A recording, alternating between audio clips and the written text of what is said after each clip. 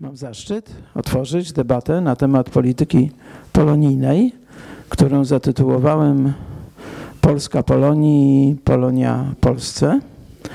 A miałem nadzieję, że zaproszone bardzo godne osoby, które zaraz przedstawię, będą mogły dyskutować z ministrem Adamem Kwiatkowskim, szefem gabinetu pana prezydenta i mm, człowiekiem odpowiedzialnym za politykę polonijną w kancelarii prezydenta. Pan Adam Kwiatkowski, pan minister Adam Kwiatkowski powiedział, że nie może przyjść i powody wyłuszczy, a ja to potem pozwolę sobie skomentować. Nie wiem, co tam jest, bo nie oglądałem i nie słuchałem. Natomiast wiem, że pan minister złożył propozycję, że po wyborach chętnie, zresztą nie sam, tylko z ekipą kancelaryjną zajmującą się polityką polonijną, do nas przyjdzie, to go będziemy drugi raz trzymać za słowo. A teraz mam nadzieję, że uda się zobaczyć i posłuchać tego, co pan minister chce klubowi powiedzieć. Dziękuję bardzo za zaproszenie na dzisiejsze spotkanie klubu Ronina. Dziękuję tym bardziej, że jest ono poświęcone bardzo ważnym problemom. Problemom relacji pomiędzy Polską a Polakami. Polakami, którzy mieszkają poza jej granicami. Polakami, których jest e, przecież prawie 20 milionów. Już w swoim orędziu pan prezydent Andrzej Duda w polskim parlamencie, mówiąc o odbudowywaniu wspólnoty Polek i Polaków, mówił też o tym, że ta wspólnota powinna być wspólnotą, która obejmuje wszystkich naszych rodaków, bez względu na to, gdzie mieszkają.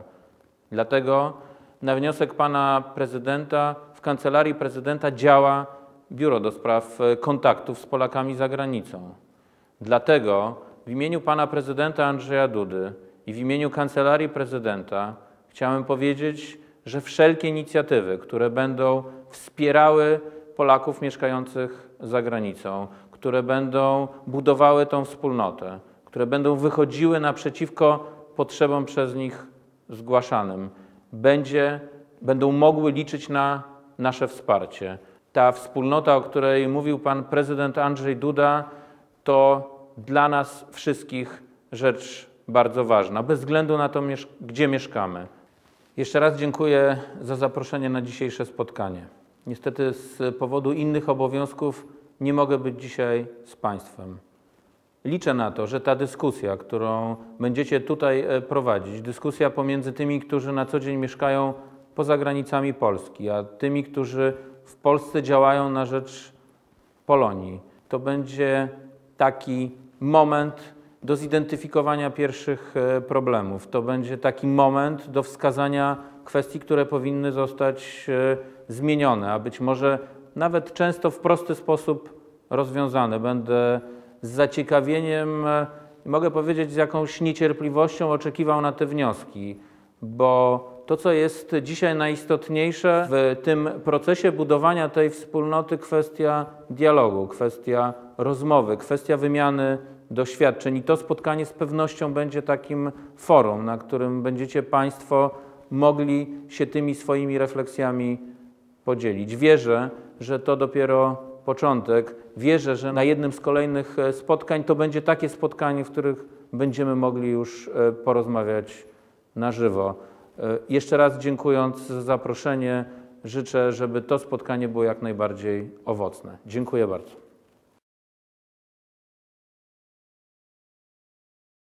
To bardzo zapraszam panią Marię Schoner-Dwiniendę, wiceszefową Kongresu Amery Polonii Amerykańskiej.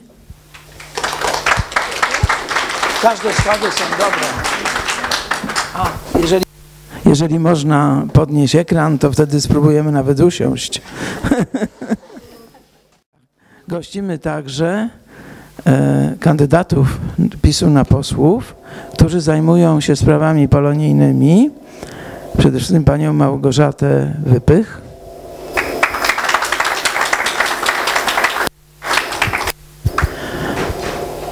Pana Marcina Gugulskiego. Dla mnie to ważne, bo jego ojciec mnie uczył polskiego, jak byłem malutki. I pana Filipa Frąckowiaka. szefa małego, ale Muzeum Pułkownika Kuklińskiego. Chciałem jeszcze poprosić Hannę Dobrowolską, koordynatora Krajowego Ruchu Kontroli Wyborów Solidarnych 2010. Raz, dwa, trzy, cztery, pięć. Chyba jeszcze jedno jest. I e, bardzo ważną osobę, Wojciecha Wel Wojtka Rawskiego, koordynatora polonijnego ruchu kontroli wyborów, który gigantyczną robotę robi na tej linii pomiędzy Polską a Polonią. Witam Cię Wojtku bardzo serdecznie. Dlaczego Polska odwraca się od swoich Polaków za granicą i to niezależnie od tego, czy są na zachodzie, czy na wschodzie? Dlaczego nie umie wykorzystać tak gigantycznych zasobów intelektualnych, społecznych, finansowych? I co trzeba zrobić? Szczególnie jeśli teraz możemy sobie pomarzyć. Przedtem mogliśmy powiedzieć, a bo polityka, a bo władza, a teraz nie możemy. Teraz możemy powiedzieć, że możemy pod adresem, miejmy nadzieję, nowych władz sformułować postulaty tego, co w tym zakresie trzeba zrobić i także wobec kancelarii prezydenta. Ja myślę, że przy tak godnych gościach to ja już nie muszę dłużej tłumaczyć, dlaczego wydawało mi się, że po polityce historycznej polityka polonijna to jest następny duży temat leżący także w głównym polu zainteresowań pana prezydenta. Pani Mario, proszę. Zobaczymy, czy te mikrofony wszystkie mówią. Ten mówi. E, rozumiem, że pytanie jest, dlaczego Polska nie potrafi wykorzystać potencjału Polonii? Co zrobić? I co zrobić? I tutaj chciałabym um, nawiązać do pewnego rysu historycznego relacji Polski z Polonią, gdyż wydaje mi się, że nasza przeszłość e, bezpośrednio rzutuje na naszą teraźniejszość i na to, co Polska może zrobić w stosunku do Polonii. Chciałabym zwrócić uwagę, że w okresie powojennym, w okresie czasów PRL-u um, władze warszawskie prowadziły konsekwentną politykę zwalczania niepodległościowej Polonii poza granicami kraju. A była to bardzo konsekwentna, wyrafinowana i dość skuteczna polityka e, rządów warszawskich prowadzona przez pół wieku. A co się dzieje w roku 90? E, w roku 90 e, praktycznie nie ma radykalnej zmiany tej polityki. Jak wiemy, ten okres przejścia z okresu PRL-u do okresu postkomunistycznego przechodzi gładko, lekko, łatwo i przyjemnie, nie ma podsumowania, nie ma refleksji, nie ma nowej strategii tak naprawdę. W związku z tym polityka e, rządów w Warszawie w stosunku do Polonii po 90 roku charakteryzuje się e, specyficznie e, działalnością, instrumentalnym traktowaniem Polonii, tak to można w skrócie nazwać, jak również jest to polityka niespójna, chaotyczna i często zmieniająca się, służąca bezpośrednim interesom poszczególnych ekip rządzących. Dlatego można powiedzieć, że Polska, mimo że jest jednym z czołowych krajów emigracyjnych na świecie, jest e, w, w powiedzmy sobie e, szóstym czy siódmym krajem na świecie pod względem procentowej liczby emigrantów z naszego kraju. Jesteśmy krajem emigrantów. Byliśmy niestety nim od co najmniej dwóch, 200 lat i do dzisiaj nie wypracowała e, konsekwentnej, e, skutecznej, e, kompleksowej polityki współpracy z Polonią i wspierania Polonii. To jest takie jak gdyby najkrótsze podsumowanie. Pan szef gdzieś się oddalił. Ja nie wiem, jak ja długo mogę mówić, bo ja mogę długo mówić, ale nie chciałabym całkowicie, że tak powiem, okupować tego tutaj czasu. Co można zrobić? Najważniejszą rzeczą jest zmiana programu współpracy rządu z, z Polonią. A my w tej chwili mamy taki dokument, nad którym ja osobiście pracowałam. Jest to, ponieważ MSZ od jakiegoś czasu przygotowuje tak zwane rządowe programy współpracy z Polonią i Polakami za granicą. Taki program obowiązywał w latach 2012-2016 i chciałabym Państwu przeczytać fragment z tego programu, bo to jest istotne. I tutaj w tym między innymi było powiedziane w tym programie, e, że partnerska współpraca z Polonią, Polakami za granicą prowadząca do uzyskania zrozumienia i skutecznego poparcia dla polskiej racji stanu oraz polskiej polityki zagranicznej oraz skorzystanie z potencjału Polonii do budowy pozytywnego wizerunku Polski w świecie. Proszę Państwa, ta polityka wykorzystywania Polonii do wspierania polityki zagranicznej rządów w Warszawie była wykorzystywana od roku 2010 do, można powiedzieć, blokowania, eliminowania i zamykania ust Polonii, e, domagającej się rzetelnego śledztwa w sprawie tragedii smoleńskiej. Krótko mówiąc, władze w Warszawie poprzez swoje placówki dyplomatyczne zwalczały wszystkie te środowiska polonijne, które żądały rzetelnego dojścia do prawdy y, o tragedii smoleńskiej. I były to działania związane właśnie z rządowym programem, które działały, y, których wynikiem działań było dzielenie Polonii, rozbijanie Polonii i budowanie nienawiści wśród Polonii. Czyli te działania były działaniami dezintegrującymi środowiska polonijne za granicą. To jest nasz pierwszy i podstawowy błąd, to jest nasz pierwszy i podstawowy dzisiaj problem, ponieważ Polacy za granicą są podzieleni i z, można powiedzieć skłóceni, podobnie jak, jak ma to miejsce w kraju i jest to efekt bezpośrednio właśnie programu rządowego e, rządu w Warszawie na lata 2012-2016. Więc żeby już koń, skończyć, bo ja mogę długo, ale już chcę kończyć. Najważniejsza rzecz to jest po pierwsze integracja środowisk polonijnych, ponieważ to wzbuduje naszą wspólną siłę. Integracja w taki sposób, żebyśmy rozumieli, że my wszyscy jesteśmy Polakami, że my wszyscy wywodzimy się z tych samych korzeni i nie ma Polaków za granicą Polaków w kraju. My wszyscy wywodzimy się z tej samej kultury, mamy tą samą tożsamość i działamy w interesie narodu polskiego. Także ta integracja Polonii na całym świecie jest fundamentalna. I to jest w tej chwili straszliwy problem, ponieważ przez 70 lat Polonia była systematycznie i konsekwentnie za granicą rozbijana. Pierwsza rzecz integracja, a druga rzecz to jest partnerskie y, traktowanie Polonii. Partnerskie to jest osobny problem, ja już kończę, a, bo tu jest napisane w tym programie, że Warszawa traktuje Polonię w sposób partnerski, ale to są puste słowa. Warszawa nie traktuje Polonii w sposób partnerski, traktuje w sposób instrumentalny i absolutnie nie liczy się z Polonią, na co mam tutaj całą masę dowodów. Jeżeli czas pozwoli, to do nich wrócę. Dziękuję bardzo. No dobrze, to skoro szefa nie ma, to parę takich uszczegółowień pokazujących w jaki sposób w ostatnich latach e, właśnie Polonia, Polacy za granicą byli traktowani w sposób, który uzasadnia częste wśród nich poczucie, że nie są traktowani tak samo jak Polacy mieszkający w kraju. Zacznę od takiej bieżącej, aktualnej sprawy związanej z, dzisiaj mamy wtorek, kończącym, kończącym się za dwa dni e, okresem, w którym można się zarejestrować do wyborów, jeżeli chce się głosować za granicą.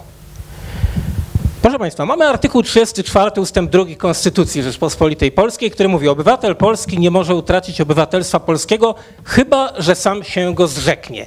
Głosujemy w kraju i za granicą, mamy prawo głosu czynne, bo jesteśmy obywatelami Rzeczpospolitej Polskiej. Ale obywatel Rzeczpospolitej Polskiej, który zgłosi się do punktu rejestracji, który zgłosi się do rejestracji przed wyborami, deklarując, że chce głosować w obwodzie zagranicznym, musi się wylegitymować ważnym paszportem. Czyli to jest, pokazuje, jak tu, jaki tu został włożony filtr. Są Polacy z kraju, my, mówiąc, no ja mieszkam w kraju, którzy tego, tej procedury przechodzić nie musimy i są Polacy za granicą, którzy są traktowani gorzej. Z faktu, że ktoś nie posiada ważnego, przepraszam, dokumentu podróżnego, jakim jest paszport, nie wynika, że przestał być obywatelem Rzeczpospolitej. W województwach są rejestry obywateli. Obywatelstwo też nabywa się z urodzenia z dwojga rodziców mających obywatelstwo polskie, z automatu, to też jest określone w Konstytucji.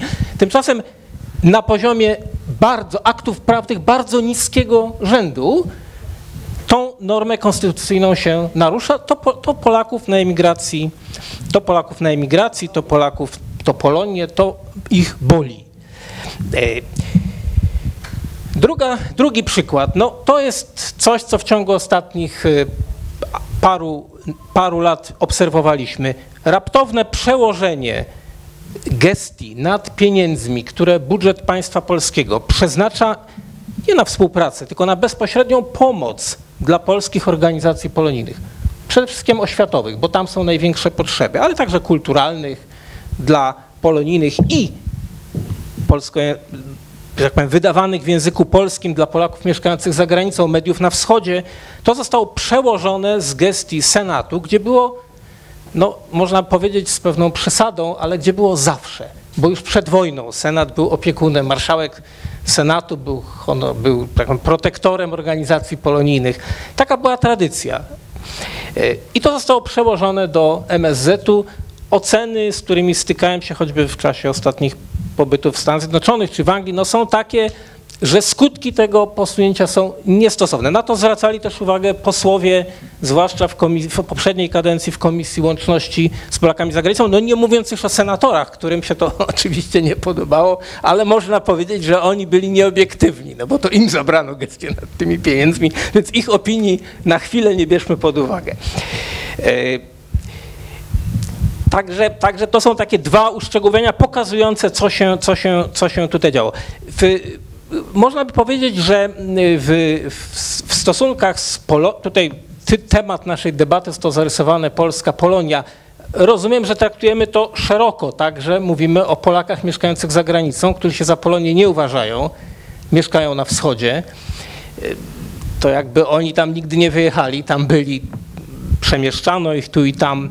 E, w, Mamy taki zapis w Konstytucji, to, to dla odmiany mm, właśnie artykuł 36, że podczas pobytu za granicą obywatel polski ma prawo do opieki ze strony Rzeczpospolitej Polskiej. No ma.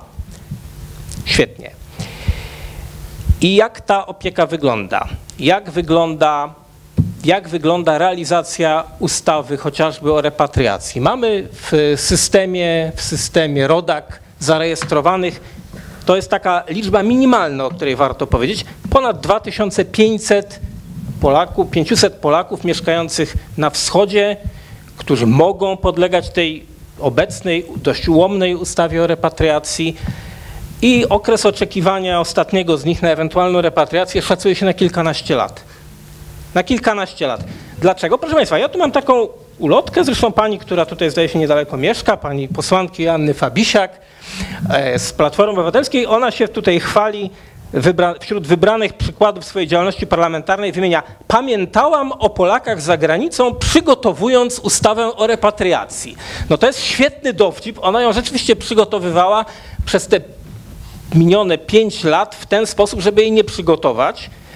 Obywatelski projekt ustawy o repatriacji, który wreszcie pozwoliłby to porządnie realizować, przygotowany pod patronatem w swoim czasie świętej pamięci marszałka Macieja Płażnickiego, wpłynął do Sejmu w 2010 roku, już 14 miesięcy później, skierowano go do pierwszego czytania. Pani marszałek Ewa Kopacz skierowała go do pierwszego czytania i proszę Państwa, po kolejnych paru miesiącach odbyło się pierwsze czytanie na posiedzeniu Sejmu, skierowano do komisji, komisje wyłoniły podkomisję.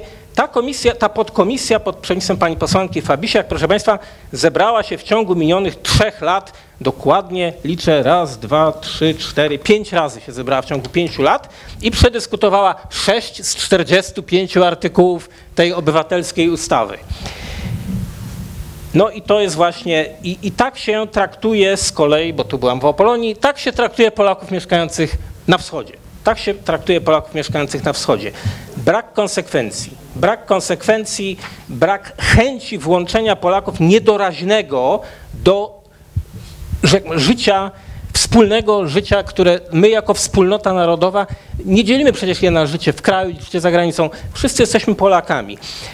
Być może, że postulat, który nie tak dawno został zgłoszony, że ten trochę blankietowy zapis artykułu 36 Konstytucji wymagałby doprecyzowania ustawowego, że mówiąc krótko, potrzebna byłaby ustawa o opiece Rzeczpospolitej Polskiej nad Polonią i Polakami za granicą. Został zgłoszony taki postulat. Myślę, że warto się do tego odnieść, prawda? Czy niewątpliwie to, to leży na stole, taka potrzeba artykuły konstytucji dzielą się na takie, gdzie jest delegacja, że coś trzeba uszczegółowić ustawą i takie, gdzie tej delegacji nie ma, co nie znaczy, że nie można tego zrobić, a wydaje się, że to jest potrzebne. Ja chciałabym się odnieść do tej propozycji właśnie o um, zawarciu w Konstytucji tego sformułowania o opiece nad Pol Polonią i Polakami za granicą. Proszę Państwa, chciałam zwrócić uwagę, że Polonia i Polacy za granicą to jest bardzo zróżnicowane środowisko i z punktu widzenia Polonii, którą ja reprezentuję, a przypuszczam, że byłaby wiele zastrzeżeń co do sformułowania opieka. A my nie chcemy za bardzo, żebyśmy byli pod opieką. My chcielibyśmy być partnerami. My chcielibyśmy współ, współpracować. A my chcielibyśmy was wspierać rodaków, chcielibyśmy z wami zawiązywać bliskie kontakty. Co nie znaczy, że taka opieka nie byłaby potrzebna w odpowiednich warunkach. Dlatego chciałabym zwrócić uwagę na to słowo opieka, żeby raczej znaleźć szersze określenie, które by uwzględniało specyfikę różnych grup polonijnych. A my, Polacy ze Stanów Zjednoczonych, chcielibyśmy współpracy. To słowo opieka zaczerpnięte jest z zapisu artykułu 36 Konstytucji i oczywiście mówi tylko o obywatelach polskich mieszkających za granicą, za granicą, na wschodzie i na zachodzie. Trudno od tego się uchylić zapisu. Szanowni Państwo, y, ja myślę, że każda dyskusja o Polakach mieszkających poza granicami obecnymi Polski powinna się zaczynać od tego, o czym y, częściowo wspomniał y, pan Marcin Gugulski, że y, są jeszcze Polacy wywiezieni w pierwszych latach II wojny światowej w głąb Związku Sowieckiego i im odebrano siłą obywatelstwo polskie i narzucono także siłą obywatelstwo sowieckie, które później ewoluowało. Proszę Państwa, i w związku z tym, y, dlaczego Polska się odwróciła, y, czy jest odwrócona od Polaków mieszkających za granicą? Ano dlatego, że każda z tych grup ma inne problemy i one są oczywiście w jakiś sposób zdefiniowane, natomiast y, nie są realizowane. Na przykład kwestia paszportów, o których y, y, Pan mówił, tu pozwolę sobie pójść jeszcze krok dalej y, i opowiedzieć jak to wygląda, bo już kiedy ktoś wystąpi o ten paszport, to musi okazać dokument, który zostanie przywieziony z Polski, świadczący o jego, o obywatelstwie polskim tej osoby. A najgorzej już mają osoby, które wyemigrowały zanim wprowadzono numer PESEL. I teraz nic nie stoi z technicznego punktu widzenia na przeszkodzie, y, żeby w polskich konsulatach był y, online dostęp do listy obywateli Polski. To jest naprawdę proste rozwiązanie techniczne. No ale to jest y, urząd y, i tak, tak jak y, i każdy urząd w Polsce tak zajmuje się tym, który wydaje dokumenty, tym, żeby, była, żeby były chronione dane osobowe. To jest problem tego urzędnika, który jest w konsulacie a nie problem obywatela polskiego. On nie musi udowadniać, że jest Polakiem. To jeżeli ma problem z takim z dostępem do dokumentów konsul, to jest jego kłopot. Ale właśnie polskie państwo stoi tyłem do tych Polaków y, mieszkających y, za granicą. Y, przecież to jest ogromny problem, żeby w wielu przypadkach, żeby znaleźć rodzinę, która jest jeszcze w Polsce, czy która musi wydobyć czy akt chrztu, czy akt urodzenia w Polsce. MSZ tylko o akcie urodzenia mówi w swojej instrukcji. No więc to jest, dodatko, no więc to jest dodatkowe utrudnienie. Taki rejestr e...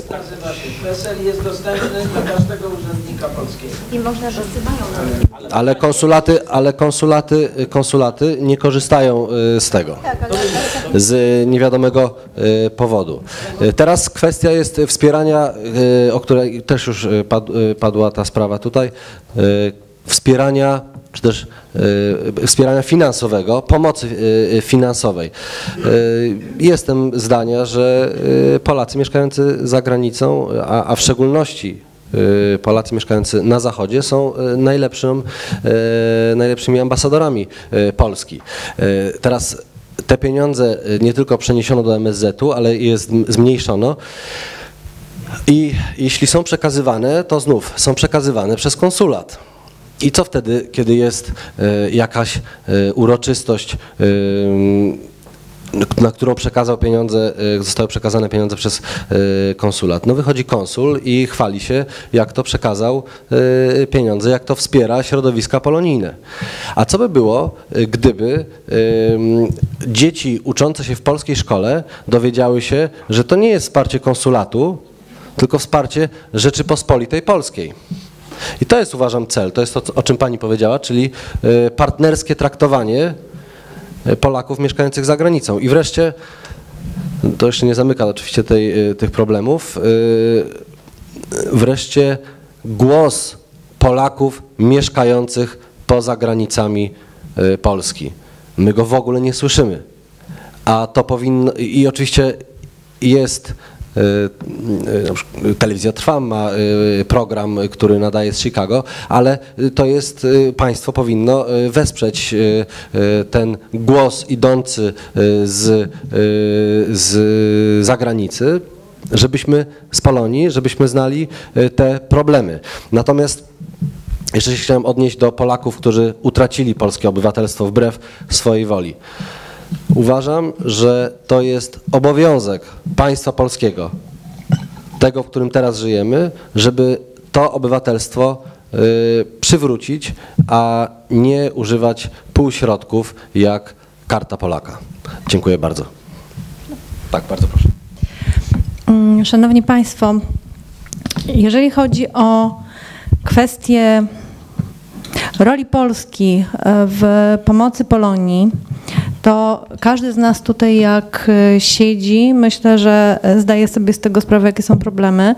Natomiast e, zarówno pan e, poseł Maciej Gugulski, jak i tutaj pan Filip Frąckowiak, jak również ja, a także pani, pani prezes Maria Szonet-Binienda, wiemy to naj, najlepiej, dlatego że byliśmy tam. Ja osobiście wczoraj wróciłam z dziesięciodniowego pobytu właśnie w Stanach Zjednoczonych. Wiem, że również panowie, panowie również, również byli i mogliśmy bezpośrednio usłyszeć o bolączkach i problemach Polonii. Te wszystkie rzeczy, które tutaj padły, one oczywiście są, natomiast ja bym chciała poinformować Państwa o pewnych rzeczach, o których ja na przykład się dowiedziałam, a z których normalny, mieszkający tutaj w kraju nad Wisłą człowiek, Polak nie zdaje sobie z tego sprawy. Otóż proszę Państwa, dzieci polskie uczą się języka polskiego, historii, kultury w tak zwanych szkołach sobotnich. Normalnie od poniedziałku do piątku chodzą do szkół amerykańskich i swój wolny czas w soboty poświęcają dla Polski. Są szkoły, które pracują, ja osobiście widziałam taką szkołę, byłam tam, w piątek od godziny 8 do godziny 22. I rzeczywiście, proszę mi wierzyć, szkoła była pełna. I serce rośnie w momencie, kiedy wchodzi się do takiej klasy i widać, e, nie wiem, mapę Polski i, i dzieciaki, które mówią, co gdzie leży, albo, albo historię, albo religię. Ale proszę sobie wyobrazić, że o ile część szkół jest skupiona w tak zwanym centrum, mm, jest to, jest to organizacja skupiająca szkoły polskie, jest też mnóstwo szkół, które są poza tym. Więc na przykład kwestia dofinansowania z Ministerstwa Edukacji jest dla nich kwestią bardzo utrudnioną. E, Byłam e, w kościele świętego Ferdynanda e, w Chicago, w kościele, w którym co miesiąc odbywają się msze za ojczyznę. Jest to też wzruszające i proszę mi wierzyć, bardzo, bardzo silne przeżycie. Ale ta szkoła współpracuje z fundacją, która wydała polskie książki. I proszę mi wierzyć, oglądałam te książki, chciałabym, żeby moje dzieci się z nich uczyły. I wiem, że na przykład nie przekłada się to w ogóle tutaj na Ministerstwo Edukacji. Inną kwestią jest na przykład sytuacja taka, że dzieci stamtąd przyjeżdżające czy ze Stanów Zjednoczonych, czy z Kanady, czy z Niemiec, przyjeżdżające do Polski nie mogą być traktowane na równi tak jak nasze dzieci, jeżeli chodzi na przykład o środki komunikacji miejskiej albo, albo muzea, z racji tego, że nie mają legitymacji, nie obejmują ich żadne ulgi. W Sejmie został złożony projekt, między innymi właśnie przez e, pana posła e, Adama Kwiatkowskiego, ugrupowanie PiS, które trafiło do, maski, do, do laski marszałkowskiej najprawdopodobniej właśnie inspirują wszystkie, wszystkie możliwe daty. I myślę, że do tego wrócimy, właśnie mający na celu ujednolicenie, żeby tym dzieciom zostały wydane legitymacje polskiej szkoły i żeby miały takie same uprawnienia jak dzieci polskie. Inną kwestią jest kwestia uprawnień nauczycieli i porównywania ich do karty nauczyciela obowiązującej w Polsce, ale myślę, że to jest, to jest tak naprawdę nasza, nasza e, przyszłość. Prozaicznymi problemami, które niestety w pewnym momencie mogą być całkowicie paraliżujące jakiekolwiek działanie, jest na przykład przetłumaczenie przez, przez e, tłumacza przysięgłego aktu urodzenia dziecka, e, które urodziło się na terenie Stanów Zjednoczonych. Sama rozmawiałam z osobą, która po prostu powiedziała, no nie znając tutaj nikogo, tak naprawdę jest trudno. Kontakt z konsulatami, o czym tutaj jest mowa, jest bardzo utrudniony i tak naprawdę na przykład y, w Chicago właśnie w związku z wyborami były przeprowadzone szkolenia. Proszę sobie wyobrazić, konsulat jest w miejscu, gdzie tak naprawdę nie ma żadnej możliwości zaparkowania. E, było planowane szkolenie i przy mnie kilka osób po prostu się zbuntowało, powiedziało, że absolutnie tam nie pojedzie, bo po pierwsze nie ma możliwości nie poniesienia dodatkowych kosztów związanych właśnie z, z tym szkoleniem. Co więcej, jeżeli chodzi o Nowy Jork, były miejsca, gdzie zostały zamknięte punkty rejestracji i punkty wyborcze, a zostały otwarte na przykład tam, gdzie było 10 Polaków. Coś, co jest dla nas całkowicie niezrozumiałe. Rzeczywiście to miało miejsce i zostało to zaakceptowane, zaakcentowane właśnie w czasie, w czasie różnego rodzaju rozmów. Również to, co, to, co y, boli y, te osoby tam y, za granicą, myślę, że ten problem na pewno jest głównie w Stanach Zjednoczonych z racji umowy pomiędzy Polską a Stanami Zjednoczonymi, mianowicie kwestia tak zwanego podwójnego opodatkowania emerytur i sytuacji takiej, że te oszczędności, które, które rzeczywiście są zarobione, proszę mi wierzyć, bardzo ciężkiej pracy, w momencie przyjazdu do Polski, jeżeli nie ma się obywatelstwa amerykańskiego, są kasowane, czasami nawet ponad 50%. E, dodatkowo rozmowy na temat e, no, tak naprawdę no, notyfikacji e, i, i prac nad ustawą właśnie mającą na celu rozwiązanie problemu tego podwójnego opodatkowania emerytur, chociaż myślę, że to jest większy problem, były prowadzone w ogóle bez udziału Polonii, bez udziału osób, które były tym tak naprawdę najbardziej, najbardziej zainteresowane. Na terenie Stanów Zjednoczonych, jak również Anglii działają organizacje, które pomagają właśnie Polakom ze wschodu i jest to temat, który nas łączy. I myślę, że tutaj mam nadzieję, że pani, pani prezes też się, też się ze mną zgodzi, bo też żeśmy na ten temat rozmawiały, że jest to również źródło tak naprawdę od czego można zacząć. Naszą współpracę z Polonią i, i z Polską. Właśnie wspólna troska o tych, którzy są na wschodzie i z tego co ja wiem, między innymi w Kazachstanie muszą pozbywać się obywatelstwa polskiego, muszą zrzec się, żeby być bliżej Polski. Jest wieś w okolicy, w obwodzie kaliningradzkim Azjornyje, gdzie mieszkają właśnie osoby z Kazachstanu, które przyjęły obywatelstwo rosyjskie i przeniosły się bliżej Polski, po to, żeby dzieci mogły, mogły chodzić e, tutaj do, e, pod, pod, na drugą stronę granicy. Także proszę mi wierzyć, jest mnóstwo rzeczy, rzeczy, które nas łączą. E, my byliśmy, myślę, że tu panowie też się ze mną zgodzą, bardzo serdecznie przyjmowani przez różne środowiska. To na przykład taka zupełnie prozaiczna rzecz, na którą ja rzeczywiście też zwróciłam uwagę i mam nadzieję, że e, przekazanie tego również Państwu spowoduje, że możemy też i w tym kierunku coś robić. Mianowicie było pytanie, dlaczego jak ja wracam do kraju, a nie pozbyłam się obywatelstwa, nikt mnie nie wita na lotnisku, nie powie witaj w kraju. Rzeczywiście w Stanach Zjednoczonych jest Welcome in United States, obojętnie kto przyleci, albo Welcome at Home. Tak, także proszę mi wierzyć, to są tak drobne rzeczy, na które oni bardzo, bardzo zwracają uwagę. To się powtarzało i na Greenpointie, jak, jak, jak chodziłam ulicami, rozmawiałam z ludźmi i w czasie spotkań, i w czasie spotkań ze studentami, w czasie spotkań z harcerzami. Naprawdę ta wielka miłość do ojczyzny i takie poczucie, że zostali sami. Mogę? To może odnośnie tej umowy y, o podwójnym opodatkowaniu. To jest umowa oryginalna była z 74 roku i potem w 13 roku Polska i Ameryka wynegocjowały umowę o unikaniu podwójnego opodatkowania. Polska to natychmiast ratyfikowała, a Stany Zjednoczone nie ratyfikowały do dzisiaj. Ale jaki jest problem? Ta umowa została e, wynegocjowana bez kontaktu, bez udziału Polonii. Polonia cały czas pod, e, mm, podnosiła zasadniczy problem, że osoby, które w Ameryce przebywają i nie są amerykańskimi obywatelami, czyli mają zieloną kartę, czyli ta grupa, która najciężej pracuje i ma najmniejsze prawa.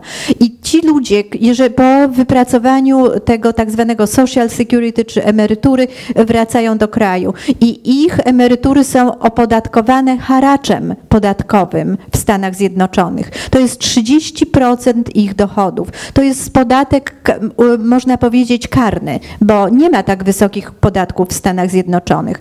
Teoretycznie to jest 30%, ale jak się odejmie, bo to dotyczy 80% zarobków, no to możemy mówić o 25% e, podatku. Dla tej grupy o najniższych zarobkach i tych osób, które no, w sposób najcięższy te pieniądze zarobiły. I tutaj właśnie chciałam powiedzieć, bo to jest bardzo ważne, że e, Polska jest jednym z zaledwie pięciu krajów spośród 58 krajów mających tego typu umowy ze Stanami Zjednoczonymi, które obowiązuje pełny 30% podatek od emerytur z sektora prywatnego. Tak samo, bo to są te dodatkowe emerytury. Tak samo można powiedzieć, że aż dziewięć krajów ma w USA umowę o całkowite e, zwalniające podatki od emerytur z sektora publicznego, czyli właśnie Social Security. Co chcę powiedzieć, że Polska wynegocjowała najgorsze warunki w ramach umowy dwustronnej Stany Zjednoczone Ameryka. Polonia podnosiła te problemy w, w, w stosunku do rządu w Warszawie. To było podnoszone również w Sejmie w sposób całkowicie nieskuteczny i odpowiedź rządu polskiego była taka, że my wynegocjowaliśmy tę umowę na najnowocześniejszych zasadach OECD, prawda? Czyli umowa jest szlagierowa, nowoczesna, postępowa, a to, że tam jakaś najbiedniejsza grupa, nie, powiedzmy sobie, e, została pominięta, to nie jest ważne, bo liczy się, że to jest e, postępowa umowa. Okay. Proszę Państwa, to jest właśnie esencja problemu, e, właśnie e, jak się interesu, e, reprezentuje interes Polski na arenie międzynarodowej. My sobie order przykleimy za to, że jesteśmy postępowi i idziemy, że tak powiem, z, z głównym nurtem w pierwszym szeregu za cenę interesu naszych podstawowych interesów naszych obywateli. I tutaj bardzo bym prosiła nas, rząd, który zostanie wybrany, utworzony po wyborach parlamentarnych, żeby nie działał w sposób pozorowany, dlatego że chwalenie się postępowością, która nie chroni interesów polskich, jest wstecznictwem, a nie postępowością. Dziękuję.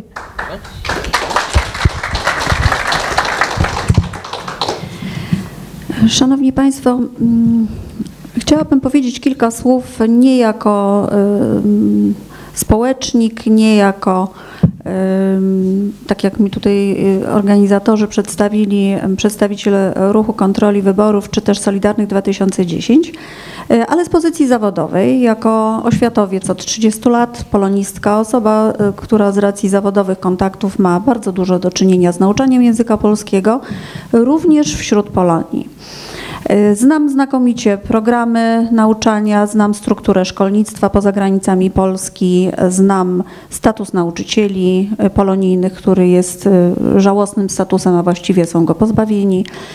Znam właściwie wszystkie niuanse problemów edukacji polonijnej. Jest to Teren daleko bardziej skomplikowany niż to zostało tutaj wcześniej nakreślone. E, Tak dalece skomplikowany, że przy tej właśnie okazji walki o fragment szkolnictwa polonijnego, jakim są szkolne punkty konsultacyjne, bowiem tak nazwano polskie szkoły e, zarządów Platformy, zlikwidowano nazwę e, polskich szkół, zlikwidowano część patronatów, nazwano to właśnie szkolnymi punktami konsultacyjnymi przy ambasadach i konsulatach. Przy takiej to okazji poznaliśmy się z panem ministrem Adamem Kwiatkowskim w czasie walki w Sejmie o uratowanie tych placówek, bowiem Platforma Obywatelska trzy lata temu uczyniła zamach na te y, szkoły, chcąc je sprywatyzować. Nazywało się to reformą, zmierzało do tego, ażeby całe szkolnictwo y, poza granicami Polski, również szkoły y, istniejące przez kilkadziesiąt lat przy właśnie konsulatach i ambasadach zostały wchłonięte przez rynek prywatnych szkół, sprywatyzowane budynki, krótko mówiąc dokonana właściwie destrukcja y, podobna do tej, jaką zaczęto robić w Polsce y, w systemie oświaty. Udało się to zahamować na skutek skonsolidowanej akcji kilku y, szkół polonijnych. Była to akcja organizowana wspólnie.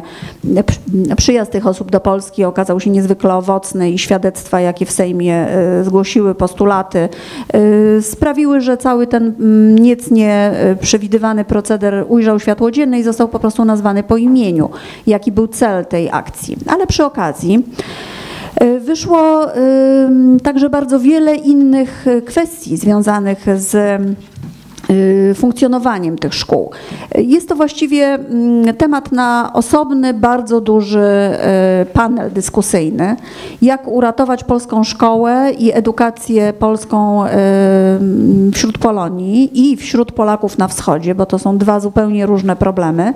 Ale problemy y, są również skomplikowane z tego powodu, że zupełnie inaczej wygląda struktura szkolnictwa w krajach Unii Europejskiej, poza unijnymi, w Stanach Zjednoczonych, w Ameryce Południowej. To są po prostu antypody problemów i różnych rozwiązań. I do tego, nie wnikając w szczegóły, y, bo nie chcę tutaj zdominować y, swoim wystąpieniem tego panelu, y, chcę powiedzieć, że typów szkół jest co najmniej kilka, równolegle działających i wszystko byłoby dobrze, gdyby nie to, że właśnie rząd Platformy Obywatelskiej spróbował zagrać pomiędzy nimi. Krótko mówiąc, skonfliktował to środowisko bardzo poważnie. Zaczęły e, być e, środowiska szkół prywatnych, e, niedzielnych, konfliktowane ze szkołami finansowanymi przez państwo, czyli tymi z, przy ambasadach i konsulatach. Wzajemnie powstały bardzo poważne animozje. Wydaje mi się, że bardzo istotnym e, działaniem przyszłym zarówno Kancelarii Prezydenta, jak i ośrodków w Sejmie, e, posłów i senatorów powinno być e, z, ponowne mm, ujednolicenie w sensie ideowym tego środowiska, dlatego że te podziały są sztuczne. Cel jest jeden. Przechować piękno polskiej mowy, przechować polską tradycję, kulturę, nauczyć dzieci kochać odległą Polskę, m, mieć gdzie przyjeżdżać w czasie wakacji, bowiem wakacje to jest dlatego tutaj tak istotne są y, legitymacje, zniżki, bo to jest czas, kiedy te dzieci spędzają w Polsce, najczęściej u dziadków, u rodziny, ale także na wczasach. W tej chwili jest wręcz ambicja, żeby dzieci przybywały do Polski. Y, W związku z czym mm, celem, wracając do myśli głównej, powinno być y, zasypanie tych podziałów, które zostały sztucznie wygenerowane, ale one niestety istnieją. I teraz, co jeszcze w trakcie tych wszystkich debat sejmowych, których miałam okazję uczestniczyć w czasie naszej batalii, wyszło na jaw? Otóż, proszę Państwa, tutaj niezupełnie to wygląda tak, jak zostało nakreślone. To znaczy, że fundusze przepłynęły z Sejmu do do rządu i że to y, jest dzielone na y, ambasady czy na konsulaty. Otóż nie zupełnie tak. Y, Proszę Państwa, istnieje cały przemysł pozyskiwania środków na unijne, przepraszam, na polonijne przedsięwzięcia. To są wyspecjalizowane w Polsce agendy do tego, w jaki sposób pisać projekty, ażeby wygrywać konkursy. To, co dotyczy grantów unijnych, dotyczy również funduszy, które z klucza powinny być przeznaczone dla tych ludzi poza granicami Polski. Otóż w większości tak się nie staje. W większości te pieniądze wracają tu do Polski i tu mają być wydatkowane. Ich skromny ułamek jest wydatkowany faktycznie na potrzeby Polonii, a służy to oczywiście rozwojowi agent przy przedziwnych fundacji, przedziwnych organizacji. Część z nich penetrowałam metodą śledztwa dziennikarskiego i patrzyłam, jakie są rodowody i życiorysy prezesów tych fundacji, członków zarządu. Bardzo to jest interesujące doświadczenie. Polecam wszystkim Państwu, którzy kandydują na posłów, analizę wykazów organizacji, które, którym udało się pozyskać środki i to bardzo duże środki, dysproporcje pomiędzy tymi, kto co pozyskuje z, w trakcie grantów rozdzielanych przez y, rząd polski jest znamienne i wnioski, jakie z tego można wyciągnąć. Także to jest osobny, osobna wielka sfera, którą polecam analizie i krótko mówiąc pozamiataniu tego całego bałaganu, jaki został zrobiony. Ale w efekcie co z tego wynika? Wynika z tego olbrzymia niesprawiedliwość w stosunku do tych, którzy mają mając wspaniałe inicjatywy poza granicami Polski, ale którzy nie mają dobrego ulokowania tutaj w Polsce, w partnerskich organizacjach, nie są w stanie w ogóle pozyskać tych środków. W związku z czym większość obserwowanych przeze mnie działań polonijnych stowarzyszeń, organizacji opiera się niemal w 100% na wolontariacie, na dobrej woli, na bezmiarze czasu, jaki jest na to poświęcony, w permanentnym konfrontowaniu się z przedstawicielami władzy polskiej poza granicami Polski. Otóż to nie jest tak, że tutaj ktokolwiek z kimkolwiek współpracuje, wręcz odwrotnie. Y, praktycznie walka toczy się na poziomie ambasad i konsulatów o to, ażeby się do nich dostać, ażeby się móc w ogóle skomunikować z kimkolwiek, kto reprezentuje tę władzę, ażeby przekonać do swoich racji i przynajmniej y, doprowadzić do tego, ażeby zostać wysłuchanym. Ja nie mówię, że z tego wynikają później jakiekolwiek e, ustalenia i wnioski pozytywne dla tych ludzi. Nie. Oni pozostają w przekonaniu, że zostali opuszczeni przez przez państwo polskie, nie przez Polskę, przez państwo polskie, e, że muszą się z nim borykać na co dzień i że wyłącznie od ich determinacji zależy, czy uda się tej organizacji e, od funduszy pozyskiwanych często metodą, prawda, wręcz żebraczą, e, uda się przetrwać tym organizacjom, tym placówkom do kolejnego następnego roku.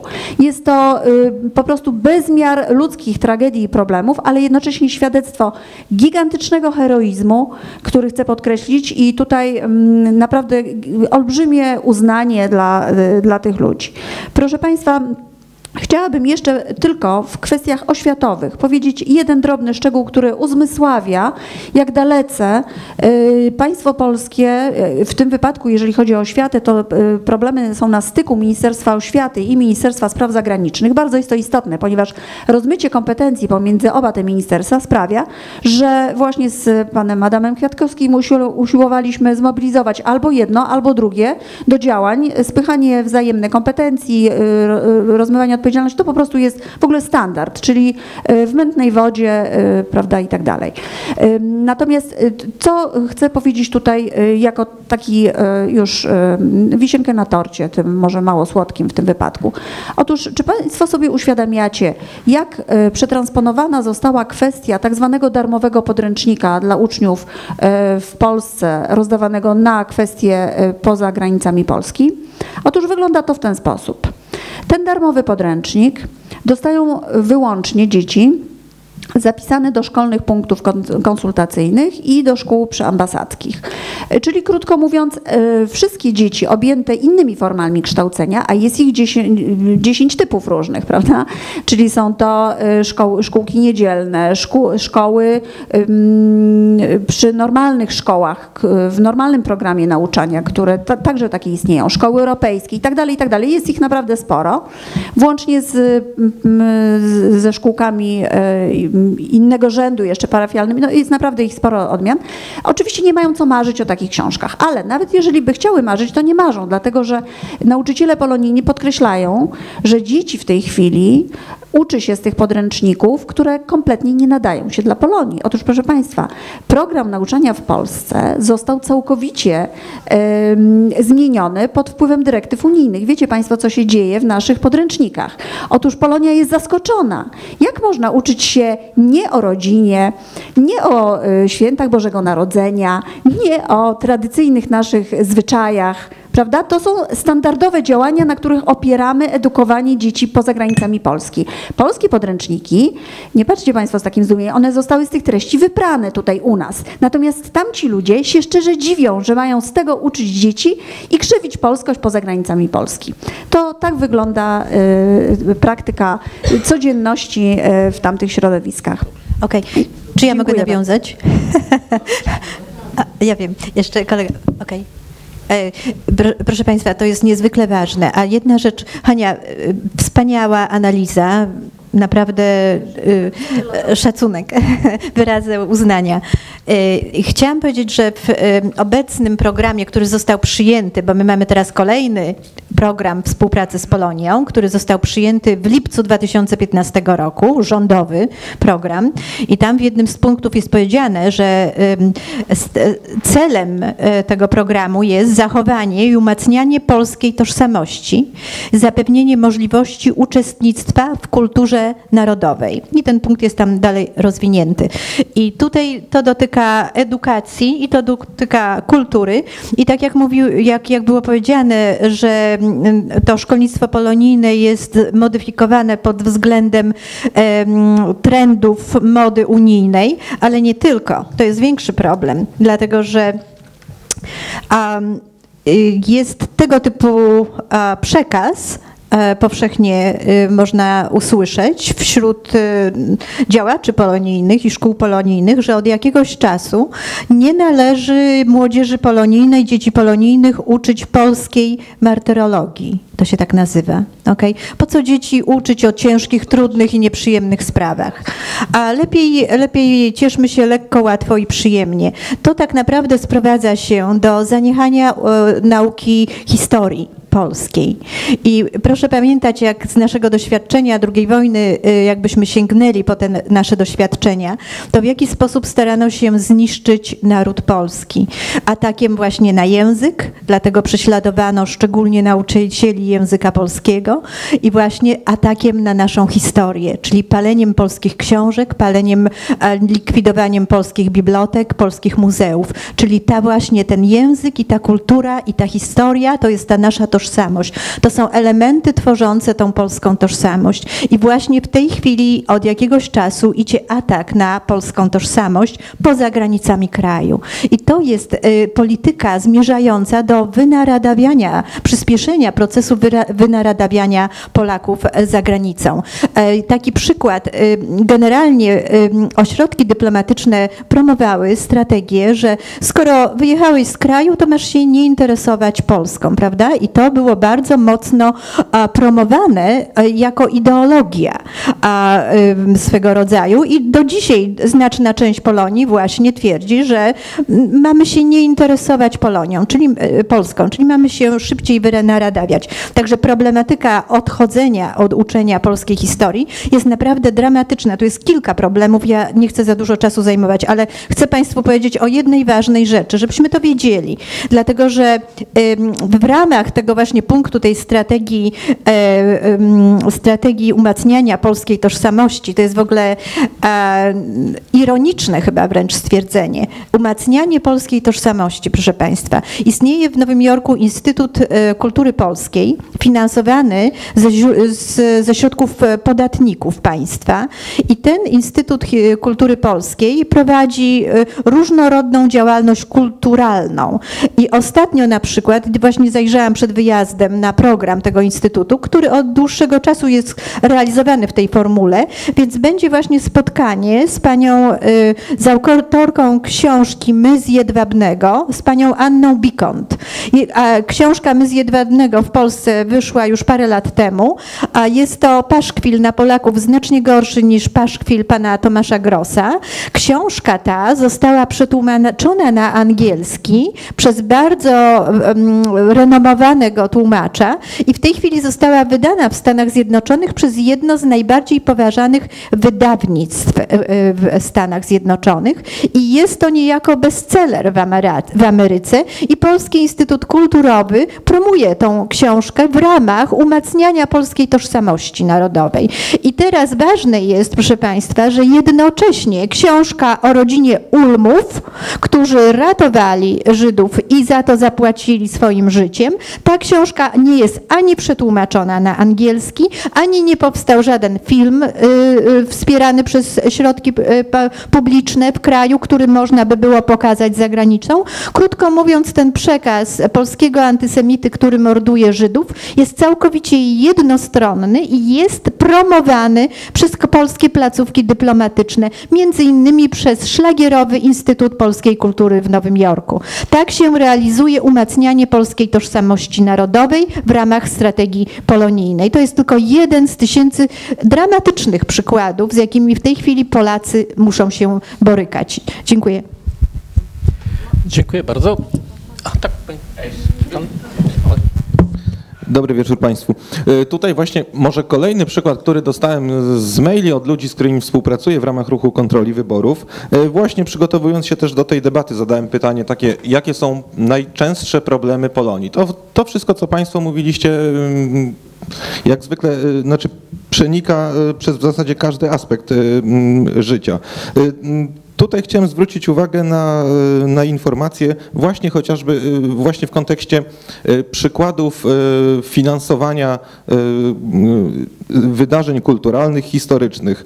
Y, wyk- y, Wykłady na przykład profesora Nowaka, profesora Żaryna, promocje książek y, o Polsce, spotkania z profesorem Zybertowiczem. Y, Pomimo składania wielu wniosków o dofinansowanie y, z funduszy na takie, na takie y, wydarzenia, y, generalnie osoby, które są zaangażowane w życie polonijne nie otrzymują nawet odpowiedzi odmownej. Nawet odpowiedzi odmownej. Y, Natomiast z funduszy MSZ na cele polonijne finansowane są imprezy typu puszczanie latawców, topienie marzanny, a także działanie Uniwersytetu Trzech Pokoleń, które organizuje spotkania, na przykład z panią Środą, z, panim, z panem Sipowiczem, z panem Raczkiem, z panem Krzemińskim. To są fakty. Tak to niestety wygląda. Dziękuję. Jeśli można by się odnieść tutaj do tych kwestii dwóch, które zostały wspomniane. Pierwsze, y, polityka historyczna i przeciwdziałanie dyfamacyjnym akcjom wymierzonym w naród polski, które niestety odbywają się z udziałem, czynnym udziałem przez ostatnie 8 lat przedstawicielstw rządu polskiego za granicą. Koronnym przykładem, który niemal w każdej rozmowie w Stanach Zjednoczonych się powtarzał, je, było promowanie filmu Pokłosie przez konsulaty i ambasady. Filmu, który był promowany, był przez Polski Instytut Sztuki Filmowej w sytuacji, kiedy patriotyczne filmy nie mogą się takiego dofinansowania doczekać. Kwestia, o której tutaj pan, pan szanowny wspominał, e, książek, czy pani mecenas mówiła o nieprzetłumaczeniu na angielski żadnej książki o rodzinie Ulmów. E, To jest problem, na który zwracano uwagę, że Instytut Pamięci Narodowej wydaje, wydawał i wydaje sporo znakomitych książek, które jednak opatrzone są wyłącznie krótkim streszczeniem w językach kongresowych. Brakuje świadomej decyzji, podjęcia decyzji o odpowiednim przełożeniu środków, tak aby pewna część tych wydawnictw, tych najcenniejszych wydawnictw dla kształtowania świadomości historycznej nie Polaków, nie Polaków w kraju czy za granicą, ale czytelnika zagranicznego, ośrodków uniwersyteckich była kierowana na tłumaczenie tych najwartościowszych prac na język angielski. Druga kwestia, która tu się jeszcze nie pojawiła, a która, no tak jak się rozglądam po sali, to y, przeważnie z nieco młodszych kręgów do, dobiegała. Mianowicie mówiono mi tak, tu w Ameryce, tu w Kanadzie ja mogę firmę założyć na telefon w ciągu jednego dnia. Ja bym chętnie rozszerzył działalność swojej firmy, coś otworzył w Polsce, założył nową firmę. Koledzy moi, którzy mieszkają w kraju, też są energiczni, mają pomysły, mają firmy, coś wspólnego byśmy zrobili, pomysłów kotłuje nam się pod czaszką, ale przecież pan wie, panie redaktorze, czy panie radny, różnie mnie tam tytułowano, jak to, jak to w Polsce wygląda. No sam pan wie, jaka to jest droga przez mękę założyć w Polsce firmę. Podsumowując ten wątek, proszę państwa, w tej chwili władze Ukrainy rozpoczęły wielką akcję promocyjną. U nas na Ukrainie firmę założysz w 24 godziny. Ja pomijam kwestię oczywistej dla nas wszystkich różnicy w bezpieczeństwie prowadzenia interesów po tej i po tamtej stronie Bugu. Pomijam kwestię no, znanego z międzynarodowych raportów zróżnicowania poziomu korupcji w naszych dwóch krajach. To są rzeczy znane. Niemniej, co stoi na przeszkodzie? Mam nadzieję, że niewiele, aby nowy Sejm wyłoniony w tych wyborach uprościł te wszystkie straszne procedury zakładania firm, uprościł prawo podatkowe. No naprawdę to są tak oczywiste rzeczy, że aż może nie, to nie jest aż dziw, że do tej pory tego nie zrobiono, bo w mętnej wodzie niektóre ryby lepiej sobie radzą i może o to właśnie chodziło. I trzecia kwestia, o której tutaj mówiono dużo i która, jak się o niej odpowiednio nie opowie, to no to jakby to powiedzieć, to wieloryba nie zauważymy, a o płotkach będziemy opowiadać. Kwestia podwójnego opodatkowania emerytur. Proszę Państwa, to jest rzecz, która dotyczy, jeżeli nie w tej chwili, to za kilka czy kilkanaście lat każdego Polaka mieszkającego w Stanach Zjednoczonych. Rzeczywiście w trakcie debaty sejmowej poprzedzającej wyrażenie zgody na ratyfikację konwencji o podwójnym opodatkowaniu padło kilka istotnych stwierdzeń, które warto tu przywołać, poza tymi, które już przywoływała tutaj pani, pani prezes, pani mecenas.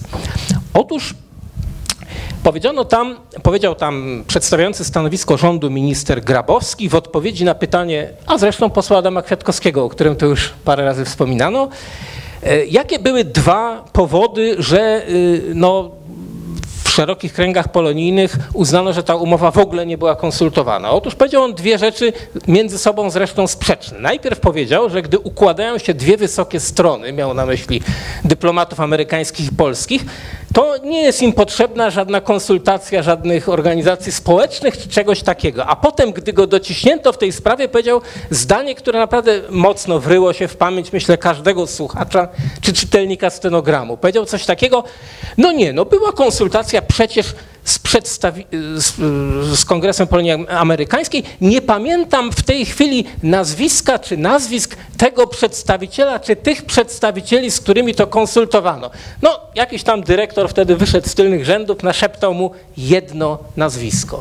Taka to i była konsultacja. Więc gdy Państwo się zastanawiają, dlaczego w tym w tej konwencji o unikaniu podwójnego opodatkowania nie uwzględniono podwójnego opodatkowania emerytur, które najbardziej Polaków w Ameryce boli i które, gdyby udało się obniżyć do rozsądnego i sprawiedliwego poziomu to, opodatkowanie emerytów, na pewno wielu rodaków z zagranicy skłoniłoby do wybrania jako miejsce zamieszkania w swoich ostatnich latach Polski. I te pieniądze, mówiąc krótko, z tych emerytur nie byłyby wtedy wydawane w Stanach Zjednoczonych, tylko w Polsce. No może to tłumaczy, dlaczego strona amerykańska tak się przed tym broniła. Ale w czasie tej debaty padło jeszcze jedno stwierdzenie, które sprawia, że możemy tu nie tylko tak powiedziałbym, narzekać na to, co się stało i ubolewać nad tym, że przez te 8 lat Platforma Obywatelska nic nie zrobiła, ale wskazać, co można w tej sprawie pożytecznego zrobić. Mianowicie jest pewna ścieżka. Ona została wskazana przez tego wiceministra finansów, który referował stanowisko rządu, y, została wskazana bezpłodnie, bo rząd Platformy nie wszedł na tą ścieżkę. On powiedział tak, no są kraje, w których tą sprawę uregulowano w, w sposób korzystny dla partnera strony amerykańskiej, ale uregulowano to nie w konwencjach o unikaniu podwójnego opodatkowania, tylko w umowach o zabezpieczeniu społecznym, w dwustronnych umowach o zabezpieczeniu społecznym. A my mamy taką umowę? Mamy. Ona została podpisana w 2008 roku i obowiązuje od 2009. Sęk w tym, że ona nie reguluje tej kwestii, w ogóle się do niej nie odnosi. Ja sobie tę umowę przestudiowałem jednak i znalazłem tutaj taki artykuł 21, który mówi tak. Do niniejszej umowy mogą być w przyszłości wprowadzane zmiany na podstawie umów uzupełniających, które z chwilą ich wejścia w życie są uznawane za stanowiące integralną część niniejszej umowy. Czyli mówiąc krótko, narzędzia są, tylko brakowało woli politycznej. To jest kwestia woli politycznej Sejmu, który zostanie za parę dni wybrany i przede wszystkim rządu i dyplomacji, żeby taki temat na stole negocjacyjnym położyć, żeby mandat negocjacyjny przygotować, no i jak to w dyplomacji zastanowić się co za co. No ale to już jest zadanie dla polskiej dyplomacji, na tym kończę. Dziękuję. Można, bo ja chciałabym się odnieść właśnie do tej umowy o zabezpieczeniu społecznym między Rzeczpospolitą a USA z 2008 roku. My mówimy dużo akurat o USA, tak się składa, no, ale to rozumiem, że, że y, podobne doświadczenia dotyczą również innych krajów. Ja właśnie otrzymałam e, tutaj list od jednego z członków e, Polonii Amerykańskiej, który mówi tak, decyzją ZUS-u pozbawiono nas i innych uprawnionych Polonii, polskich emigrantów i rencistów zamieszkałych w USA i w Kanadzie ubezpieczenia zdrowotnego w Polsce. Jest to dyskryminacja i jest to sprzeczne z ustawą z 2004 roku o świadczeniach opieki zdrowotnej finansowanych ze środków publicznych w nawiązaniu właśnie do umowy y, o zabezpieczeniach społecznych. To jest osobny, kolejny duży problem. I, I tutaj właśnie y, można powiedzieć, że ta skarga pokazuje e, brak woli politycznej y, przedstawicieli ZUS-u e, do rzetelnego ustosunkowania się do tego roszczenia, że osoby, które pobierają emerytury, e, które wypracowały emerytury w kraju, bez względu na to, czy mieszkają w Polsce czy w Ameryce, mają prawo do opieki zdrowotnej w kraju. Ogromny problem. Dziękuję. Proszę bardzo. No właśnie, bo, bo, wcześniej nie było powiedziane, że ta y, umowa działa w dwie strony i że to dotyczy y, zarówno y, Polaków, którzy chcą wrócić do Polski, albo tych, którzy wypracowali w Polsce kilka lat i wyemigrowali do Stanów. Mm, natomiast jeszcze się chciałem odnieść, bo z takim problemem się też spotkałem w Stanach, do tego, do, do kwestii konfliktów, jakie są w społecznościach polonijnych. Jednym z poważnych problemów jest to, że e, co powszechnie wiadomo, były wysyłane e, całe grupy agentury Służby Bezpieczeństwa do rozpracowywania Polonii. Nawet im by nie przyszło do głowy e, tak wynaradawiać, jak to się dzieje w tych dzisiejszych podręcznikach, ale oni bardzo pracowali nad tym, żeby prowadzić, żeby konfliktować środowiska polonijne i Polacy chcieliby, mieszkający w, to akurat w Chicago słyszałem, ale to pewnie dlatego, że jest to ten największy ośrodek, nie, mają do, nie ma opracowania na przykład IPN-owskiego żadnego dotyczącego y, tych y, agentury, agentury y, właśnie w środowiskach polonijnych. W związku z tym nie może dojść do żadnego oczyszczenia, to jakby wszyscy wiemy, ale, ale i pracują dalej, tak. Proszę Państwa, Y, nie wspomnieliśmy jeszcze tutaj o specyficznej grupie, czyli Polaków, którzy wyemigrowali po otwarciu granic y, w Unii Europejskiej. I bo paradoksalnie tę grupę y, można w najłatwiejszy sposób z powrot, no, ściągnąć do kraju, krótko mówiąc.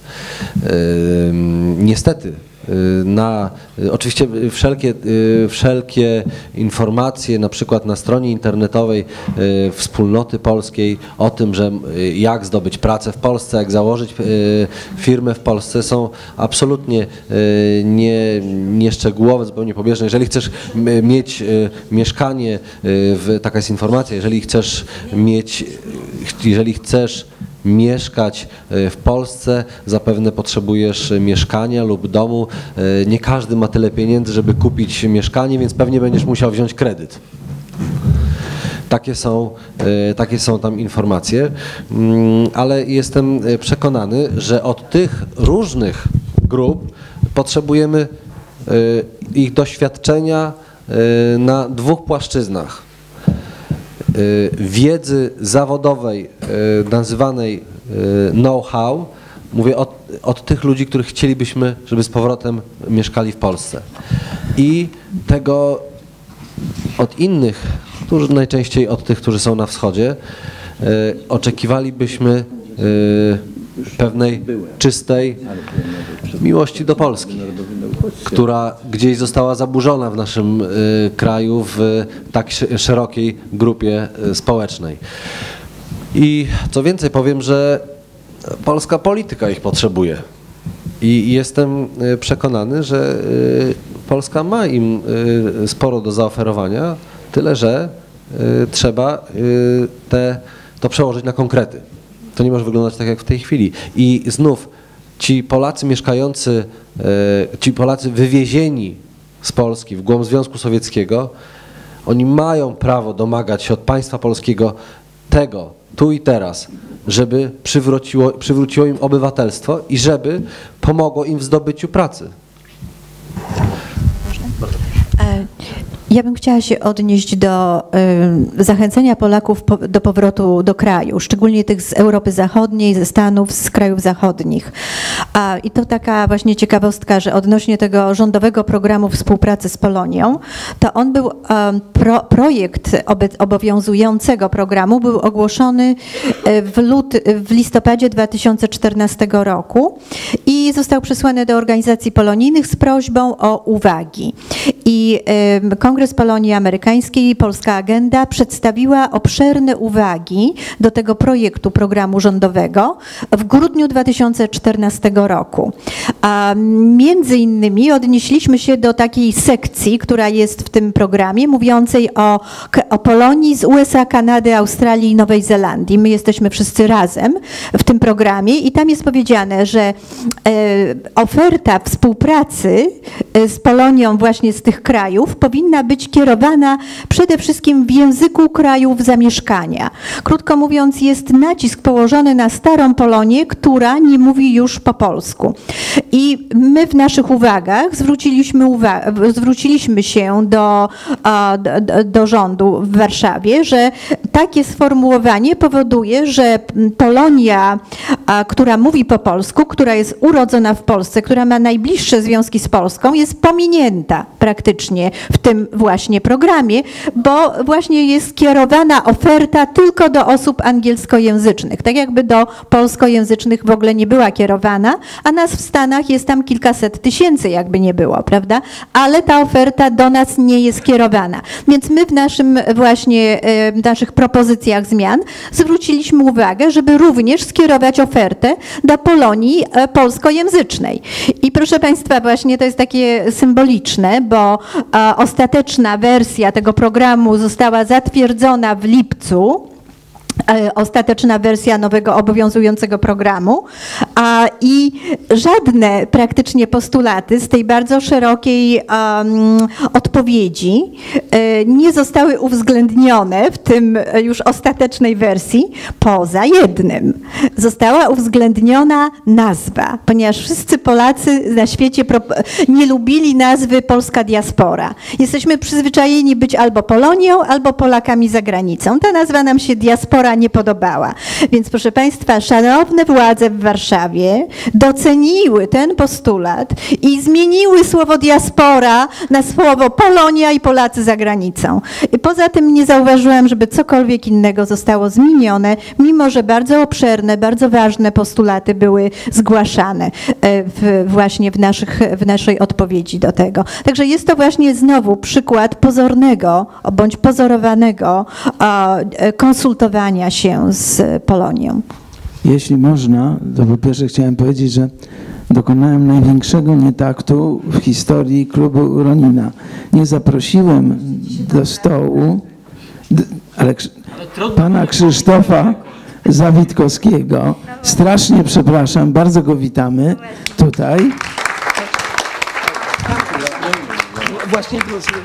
Nie tylko byłego dyrektora nie tylko byłego dyrektora Kongresu Polonii Amerykańskiej i byłego przewodniczącego Rady Narodowej na, uchodźcy, na uchodźstwie, ale przede wszystkim starego Ronina właśnie.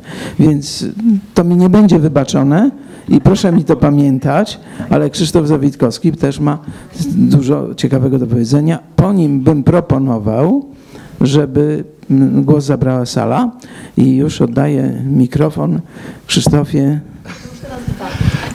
Józek, wszystko ci wybaczam, nie ma problemu. Od pięciu lat Ronin, więc e, Zaproszenie dla mnie może być po prostu nawet z sekundy na sekundę. Często bywam w Polsce, proszę Państwa, od 40 lat mieszkam ponad, poza Polską, najpierw w Kanadzie przez szereg lat, a od 30 paru lat w Kalifornii, a teraz jestem w trakcie przenosin do, do, do Georgii i stąd nie, no, musiałem zrezygnować z członkostwa e, w, w Radzie e, Dyrektorów e, mm, Kongresu Polonii Amerykańskiej, ponieważ nie ma w Georgii oddziału Kongresu Polonii Amerykańskiej, ale ja go założę. No ja ja jestem z zawodu inżynierem. razie czego z Amerykanów się dobierze. Tak jest. E, ja jestem z zawodu inżynierem, lubię praktyczne rozwiązania i lubię doprowadzać wszystko do końca. E, proszę Państwa, e, ja tutaj padało szereg komentarzy i bardzo ważnych postulatów i, i mógłbym dołączyć do nich i też od siebie trzy grosze dołożyć, bo wiemy o tym, że na przykład konsulaty wprowadzają dyrektorów regionalnych, szkolnictwa, którym się pensje opłaca i tak dalej, i tak dalej. E, fundacje czy organizacje, które e, po prostu nie zajmują się sprawami ani patriotycznymi, a a jeśli przez przypadek znajdzie się głośny polityk, którego uda się przepchnąć, to jak powiedzmy u nas w Kalifornii był pan poseł Macierewicz, który zgromadził 600 osób, że trzeba było głośniki na zewnątrz wystawiać, e, no to wtedy też i miał spotkanie na przykład w klubie Modrzejewskiej, prawda? Ale żeby zrobić spotkanie z twórcami kontrowersyjnych filmów, to się grube tysiące na ten cel przeznacza i, i to leci. Mm, szkoły również mógłbym dorzucić. E, Moje dzieci przeszły przez wszystkie te szkoły, dwie moje córki wróciły do Polski, to wyszły za mąż i są szczęśliwe. E, ale chcę Państwu zwrócić uwagę na pewne rzeczy, które jakoś tak e, troszeczkę się nam e, mm, w tej nawale spraw niezwykle istotnych, bo to są fundamentalne sprawy, o których Państwo mówiliście, ale ja do praktycznych przejdę. Otóż, no, jak działają konsulaty, to już trochę słyszeliśmy, ja tylko takie dam dwa wątki Państwu. Byłem świadkiem, jak e, major Wojska Polskiego, odznaczony Virtuti Militari, piątej klasy, czwartej klasy, dwukrotnie krzyżem walecznych, przyszedł ze swoją legitymacją oficerską jako oficera e, Wojska Polskiego i próbował oddać głos. To było w latach 90. jeszcze. E, oczywiście nie miał paszportu polskiego, nie miał PESEL-a i odprawiono go z kwitkiem. E, I ja widziałem, jak ten pan płakał. I te łzy e, świadczą wiele. E, rozumiem, że są różne przepisy i tak dalej. E, e, nie wszyscy znają te przepisy, są oddaleni od różnych ośrodków. Znam przypadek, kiedy młoda osoba, wprawdzie urodzona w Polsce i mająca PESEL, zgłosiła się do konsulatu, że chciałaby wziąć udział w głosowaniach najbliższych prezydenckich, później może parlamentarnych, no to jej poradzono, żeby się udała do Waszyngtonu z e, odległej Florydy i żeby na miejscu złożyła odpowiednie papiery. No więc e, ta osoba pozbierała, ja sama jest prawnikiem, więc pozbierała te wszystkie papiery, co potrzebne, z uporem wielkim i tak dalej. Pojechała do konsulatu Rzeczpospolitej Polskiej w Waszyngtonie, złożyła wszystkie papiery rok temu. Cisza, żadnej odpowiedzi, nie ma podziękujemy wam i tak dalej, i tak dalej. Ja widziałem, jak te konsulaty pracują, widziałem, jak pracują w różnych układach, w różnych zespołach, czy to jeszcze dawne Solidarności, najprzyjemniejszy. No, potem była Unia Wolności, potem był SLD, Potem nie zdążył być PiS u nas w Los Angeles, szkoda, ale potem zaraz nastała Platforma. Godziny urzędowania są takie, że normalny człowiek nie może w tych sprawach, e, z tymi sprawami sobie poradzić e, w konsulacie. To tak tylko na marginesie. Ale ja chciałem Państwu powiedzieć, e, no takie zrobić małe porównania, bo tutaj padło właśnie pani Maria mówiła o tej masowej polskich emigracjach, nie tylko do Ameryki, ale i Argentyny i Australii, wszędzie, gdzie tylko możemy sięgnąć po książkę telefoniczną, nawet w dalekim Zimbabwe można znaleźć nazwiska polskie. Jest nas e, w świecie 58 milionów, z tego 20 milionów prawie żyje poza granicą. Ostatni spis w Stanach Zjednoczonych wykazał, że 13 milionów Amerykanów przyznaje się do polskiego pochodzenia jako głównego. To są często ludzie, którzy już dawno nawet nie mówią po polsku, ale wiedzą, że dziadek czy babcia i oni uważają, że nie są Polakami. Jak te sprawy rozwiązać, nie wiem, to dla prawników sprawa, ale, ale jest to spora liczba. Wiem, że w Kalifornii yy, yy, na początku lat 90. 40 tysięcy osób przyznawało się nie tylko do polskiego obywatelstwa, miało polskie paszporty. Nie wiem, jak to dzisiaj wygląda, nie wiem, czy w ogóle takie statystyki są robione, ale jest to rzecz ważna, do, warta sprawdzenia. Ja chciałem się tak zastanowić, proszę Państwa, nad e, sprawami takimi, co Polonia może zrobić dla Polski, a co Polska może zrobić dla Polonii, prawda? Bo to tak e, od razu można e, postawić sprawę. Żeby do tego państwa wprowadzić, to ponieważ padały tu kwestie dotyczące powrotu Polaków z zagranicy do Polski, no więc ja tak usiadłem i policzyłem sobie na podstawie danych socjologicznych i etnologicznych i tak dalej, i proszę Państwa, tak się zastanowiłem, co by to było, gdyby Polacy chcieli wrócić do Polski. No, nie wiem, może Państwo rzucą jakąś liczbę. To ja powiem, co to znaczy w, sferze finansów. Powiedzmy 10 tysięcy chciałoby na stałe wrócić do Polski. Wiemy, co ich czeka, wiemy, że ciężkie podatki zapłacą, a jeżeli nie wrócą, to co? No, no mogą zamieszkać w tym słonecznym pasie e, Stanów Zjednoczonych, od Kalifornii po Florydę i może aż po Georgię, gdzie koszty utrzymania nie są takie wysokie, gdzie... Aha, ważna sprawa. Polityka prorodzinna i polityka podatkowa ściśle ze sobą się wiążą właśnie tam, gdzie my mieszkamy. I my te doświadczenia chętnie byśmy Państwu przekazali. A ja Państwu powiem tylko tyle, że rodzina składająca się męża, żony i trojga dzieci i zarabiająca powiedzmy tylko 50 tysięcy dolarów, co nie jest wygórowaną, wygórowanymi zarobkami na dwie osoby w rodzinie, prawda? Powiem Państwu, że właściwie prawie wcale podatku nie zapłaci. Więc emeryt, który ma powiedzmy 1500 dolarów emerytury tej federalnej, państwowej i powiedzmy mieszkając przez 30 lat w Stanach zmienił trzy razy pracę, w związku z tym z trzech różnych firm ma jakąś emeryturę od tych firm, może mieć jeszcze dodatkowo 1500 dolarów, 3000, to on, żona będzie miała połowę tego, co on otrzymuje, może nie pracowała, a może pracowała, ale załóżmy, że nie pracowała, prawda? I wówczas oni mają ten dochód taki, powiedzmy sobie na poziomie około 36 tysięcy dolarów. Oni w Stanach nie zapłacą podatku dlatego że takie są przepisy. Zapłacą jedynie podatek od tych emerytur, które posiadają od firm, w których pracowali lub funduszy, z którymi te firmy pracowały. I teraz co to znaczy dla Polski? No, bo nie przyjadą do Polski, bo tam mają ciepłe powietrze, znaczy słońce, ciepły klimat, suchy albo parny, jak to woli, i minimalne podatki. A w Pol co to znaczy dla Polski, że oni nie przyjadą? Ano znaczy to, że gdyby te 10 tysięcy osób przyjechało, proszę Państwa, ja policzyłem, każdy by pewnie sprzedał jakiś domek, który by miał. I średnio taki dom może kosztować około 300 tysięcy dolarów. Oto są, proszę Państwa, 3 miliardy dolarów. To są te 3 miliardy dolarów od tych 10 tysięcy osób. Gdyby 100 tysięcy przyjechało, no to będzie jeszcze więcej, prawda? 10 razy tyle. To będzie 30 miliardów.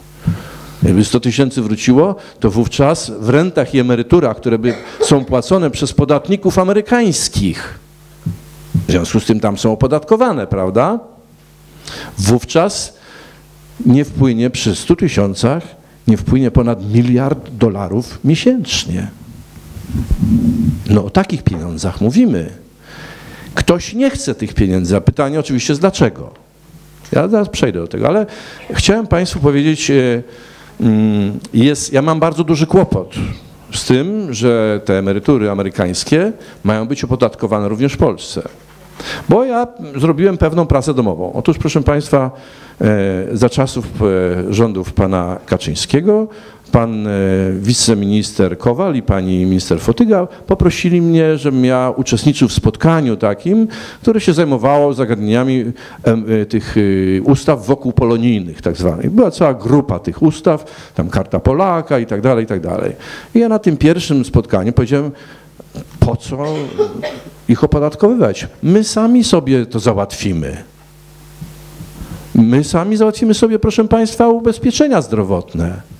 Ja rozmawiałem z Social Security, które jest po- odpowiednikiem polskiego ZUS-u i oni nie mieli problemu, żeby załatwić tak z Hiszpanią i z Anglikami. No więc dlaczego nie mogą z Polską? No, powiedzieli, że możemy, oczywiście, że możemy, tylko Polacy muszą chcieć tego, rząd polski musi tego chcieć, ale rząd polski chce Polaków wracających do Polski opodatkować. I teraz proszę mi powiedzieć, kto przy zdrowych zmysłach, kto ma powiedzmy te 3000 emerytury, czy 4,5 mąż i żona razem wzięci, prawda? Kto przy zdrowych zmysłach przyjedzie do Polski, żeby poddać się opodatkowaniu w Polsce? No nikt. Rząd, rządy to dobrze wiedzą o tym. Ale nie chcą. Dlaczego nie chcą? No, no dlatego, że my stanowimy naprawdę, stanowimy zagrożenie dla układów. Moja, moja firma, ja, ja założyłem firmę ileś tam lat temu, proszę Państwa, wyprowadziłem ją na Nasdaq, e, w ofercie publicznej była, e, akcje były sprzedawane na Nasdaqu i tak dalej, potem e, tę firmę sprzedałem innej, jeszcze większej firmie, znaczy nie tylko ja, ja miałem 3000 udziałowców, miałem partnerów większych też, jednego Polaka i trzech Szkotów. Co ciekawe, ale z Kanady. E, No i proszę Państwa, w pewnym okresie próbowaliśmy rozwijać biznes w Polsce. Pan wspomniał o 24 godzinach. Nie, proszę Pana. Ja to gwarantuję Panu, że firmę w Stanach Pan może założyć w 60 sekund. Bo wchodzi Pan na stronę internetową w stanowym sekretariacie stanu do spraw korporacji, wypełnia Pan tam odpowiednie formularze. Jak Pan nie był karany za jakieś przestępstwa i tak dalej, i tak to błyskawicznie jest zweryfikowane przez komputery, ich nie PESEL, czy jak to tam się nazywa, nikt nie ma PESEL-a tam, ale to potrafią sprawić. Działa, znaczy jest numer ubezpieczenia społecznego, prawda? Sprawdzają, weryfikują i firma jest naprawdę, oczywiście y, tymczasowo przyznany ten, ten, bo oni jeszcze weryfikują, prawda, bo czy ktoś chce w swoim stanie, czy chce w innym stanie, może w Delaware na przykład. Popularne to jest, prawda?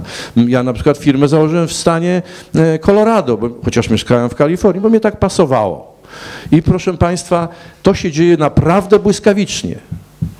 Dlatego, że system cały, który istnieje, mówię tutaj o Stanach Zjednoczonych i Kanadzie, gdzie mieszkałem, ale podejrzewam, że niewiele się różni w Wielkiej Brytanii czy w innych krajach, on nie polega na tym, żeby być cwańszym od najcwańszych, bo tego się nigdy nie da zrobić. Zawsze będzie i korupcja, i będą oszustwa. Ludzie te rzeczy nieuczciwi robią, ale po prostu, żeby to się nie opłacało.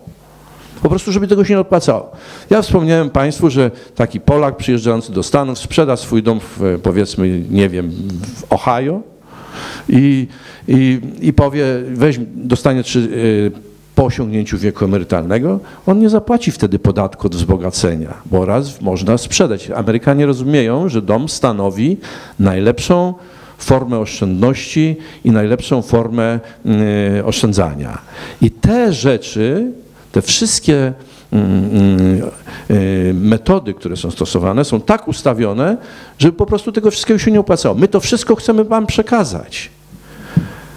Osoba taka jak pani Maria, to jest kopalnia wiedzy. Ona jest adwokatem, proszę Państwa.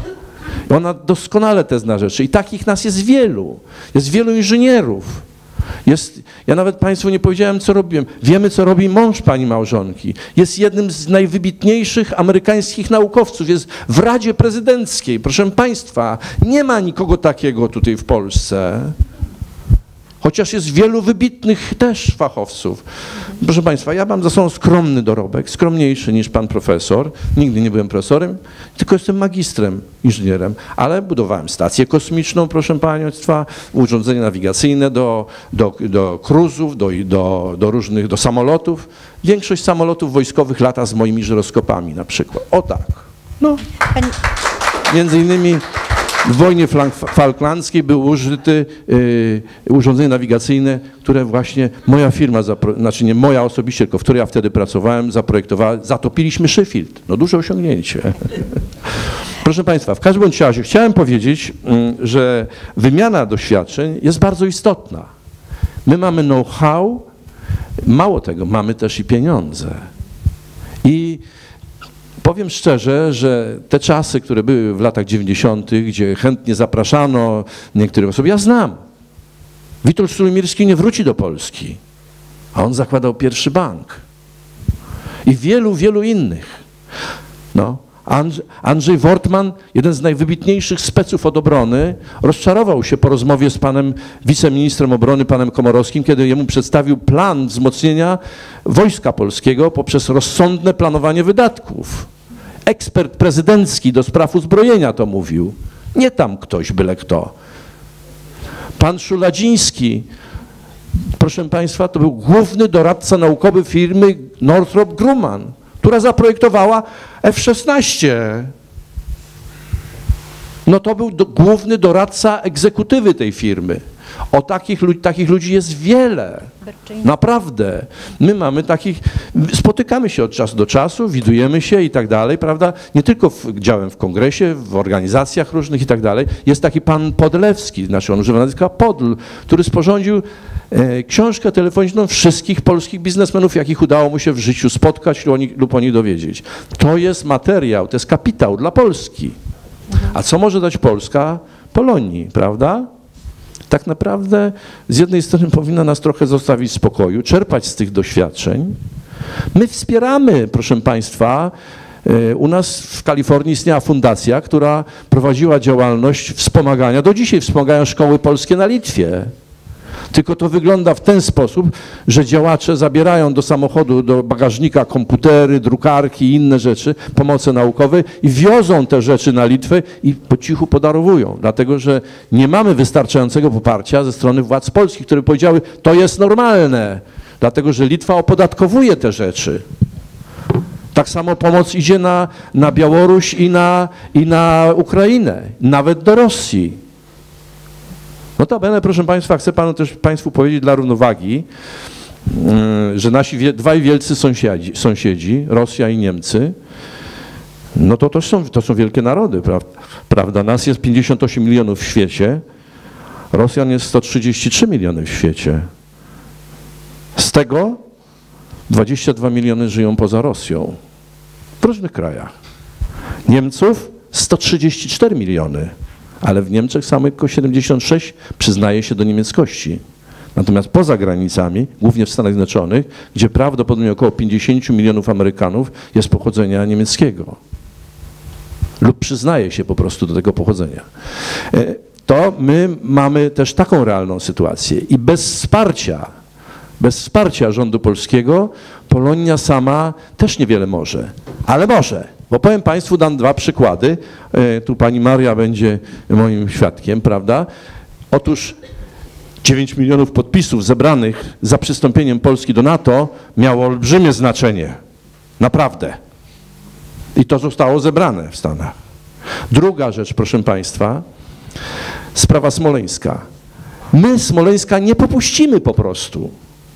To jest, miejcie tę świadomość. Tam zginął, i mamy bardzo poważny pretekst, tam zginął jeden z nas.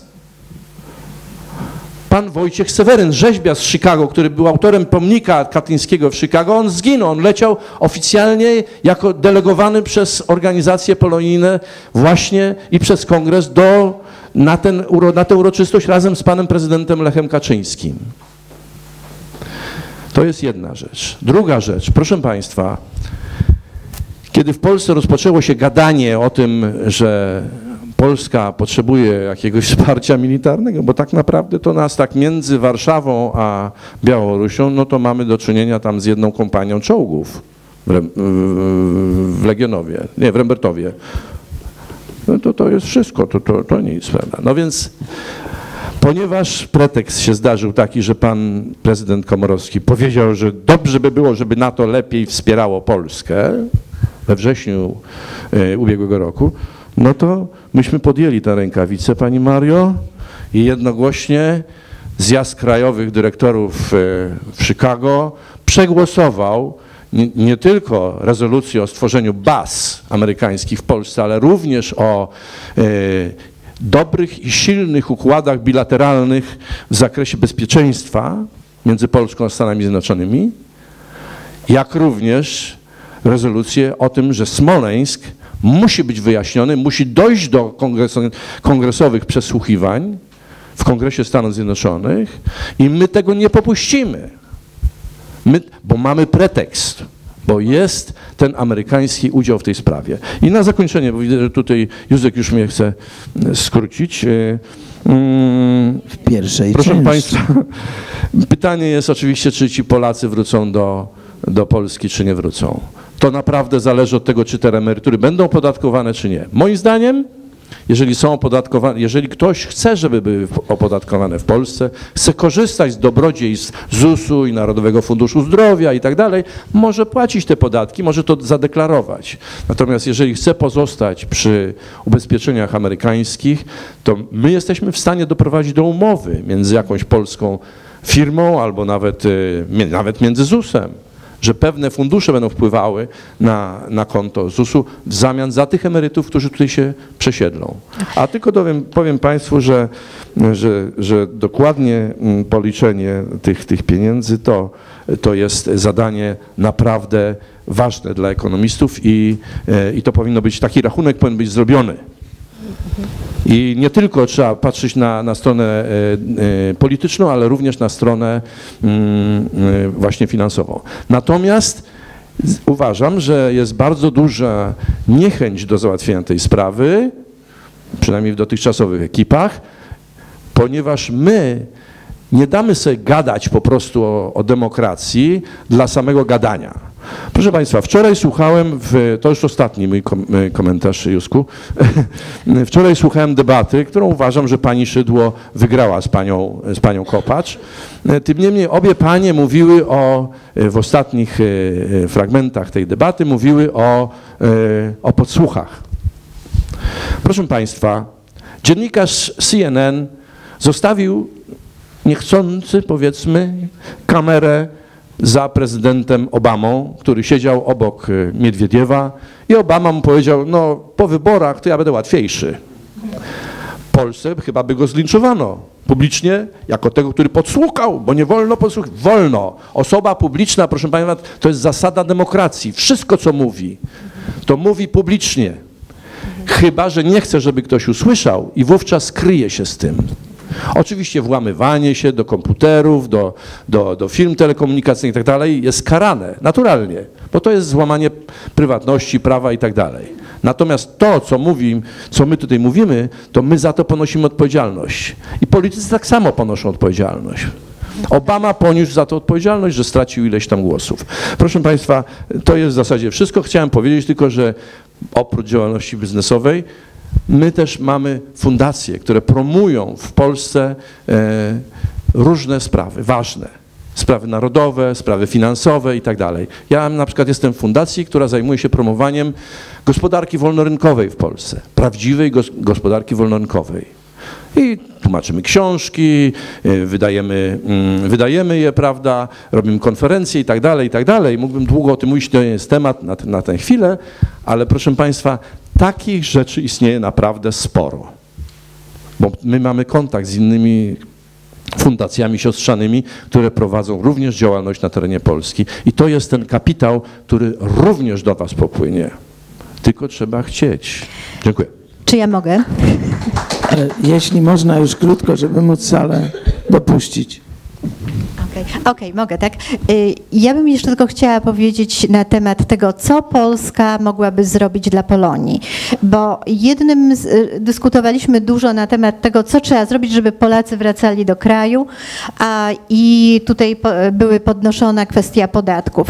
Ja chciałam tylko zacytować uwagę, jaką myśmy złożyli y, w imieniu Polonii Amerykańskiej do tego rządowego programu i to jest uwaga, którą przesłał pan Śliwowski, nasz kolega, który jest szefem oddziału Kongresu Polonii Amerykańskiej z New Jersey. Uważam, że to jest bardzo istotne. E, nieczęste są przypadki powrotów do Polski osób, które mają znaczące osiągnięcia na Zachodzie. Dlaczego tak się dzieje? Niechęć, obawa przed konkurencją, czy też hermetyczne zamknięcie środowiska, obawiającego się utraty statusu.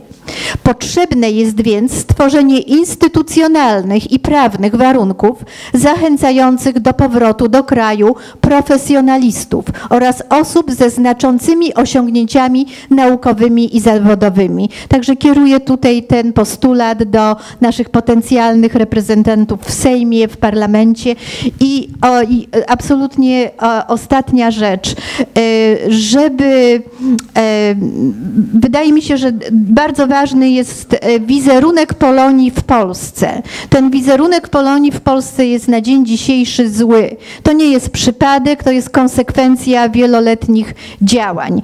I to, że działania w do, w stosunku do Polonii są pozorowane, jak ja to oceniam, a na pewno nieskuteczne i w dużej mierze nie liczące się z głosem Polonii, wynika właśnie między innymi też ze słabości Polonii.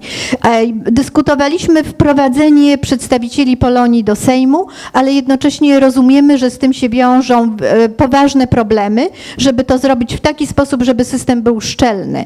I w związku z tym ja chciałam postulować, że zanim wymyślimy w jaki sposób dać Polonii głos na decyzję w kraju, to taką bardzo prostą metodą, którą moglibyśmy zastosować na dzień dzisiejszy, żeby zwiększyć głos Polonii w kraju, to jest, ja bym proponowała wzięcie pod uwagę powołania stanowiska rzecznika do spraw Polonii tutaj w kraju, czyli osoby, która by była możliwe, że nawet współfinansowana przez środowiska polonijne e, z różnych kontynentów, żeby to była osoba, która byłaby partnerem do dyskusji zarówno dla rządu, jak i dla przedstawicieli Sejmu, natomiast byłaby to osoba, do której my Pola, Polacy i Polonia za granicą moglibyśmy wszystkie te postulaty składać, o których dzisiaj tu była mowa i ona w naszym imieniu by tych postulatów tutaj na miejscu pilnowała jako rzecznik Polonii w Polsce. Dziękuję. Jeśli można, y, zaraz Państwu dam głos, ale spróbuję przedstawić bardzo niekonstruktywną propozycję, jak zwykle. Dlaczego tu jest tak, że Polonia amerykańska jest tak reprezentowana? Nie tylko dlatego, że takie mamy znajomości w naszym klubie, ale także dlatego, że jeżeli państwo polskie prowadzi antypolonijną czy antypolakowo-zagraniczną politykę, to szansą na to, że lobby gdzieś propolskie za granicą powstanie, największa taka szansa wydaje się być w Ameryce ze względu i na liczbę ludzi, i na ich e, zamożność. Ale, Pani Mario, rzecznik może być ulokowany e, na dwa sposoby. Jeden już jest. Nazywa się Adam Kwiatkowski. Mianował go prezydent.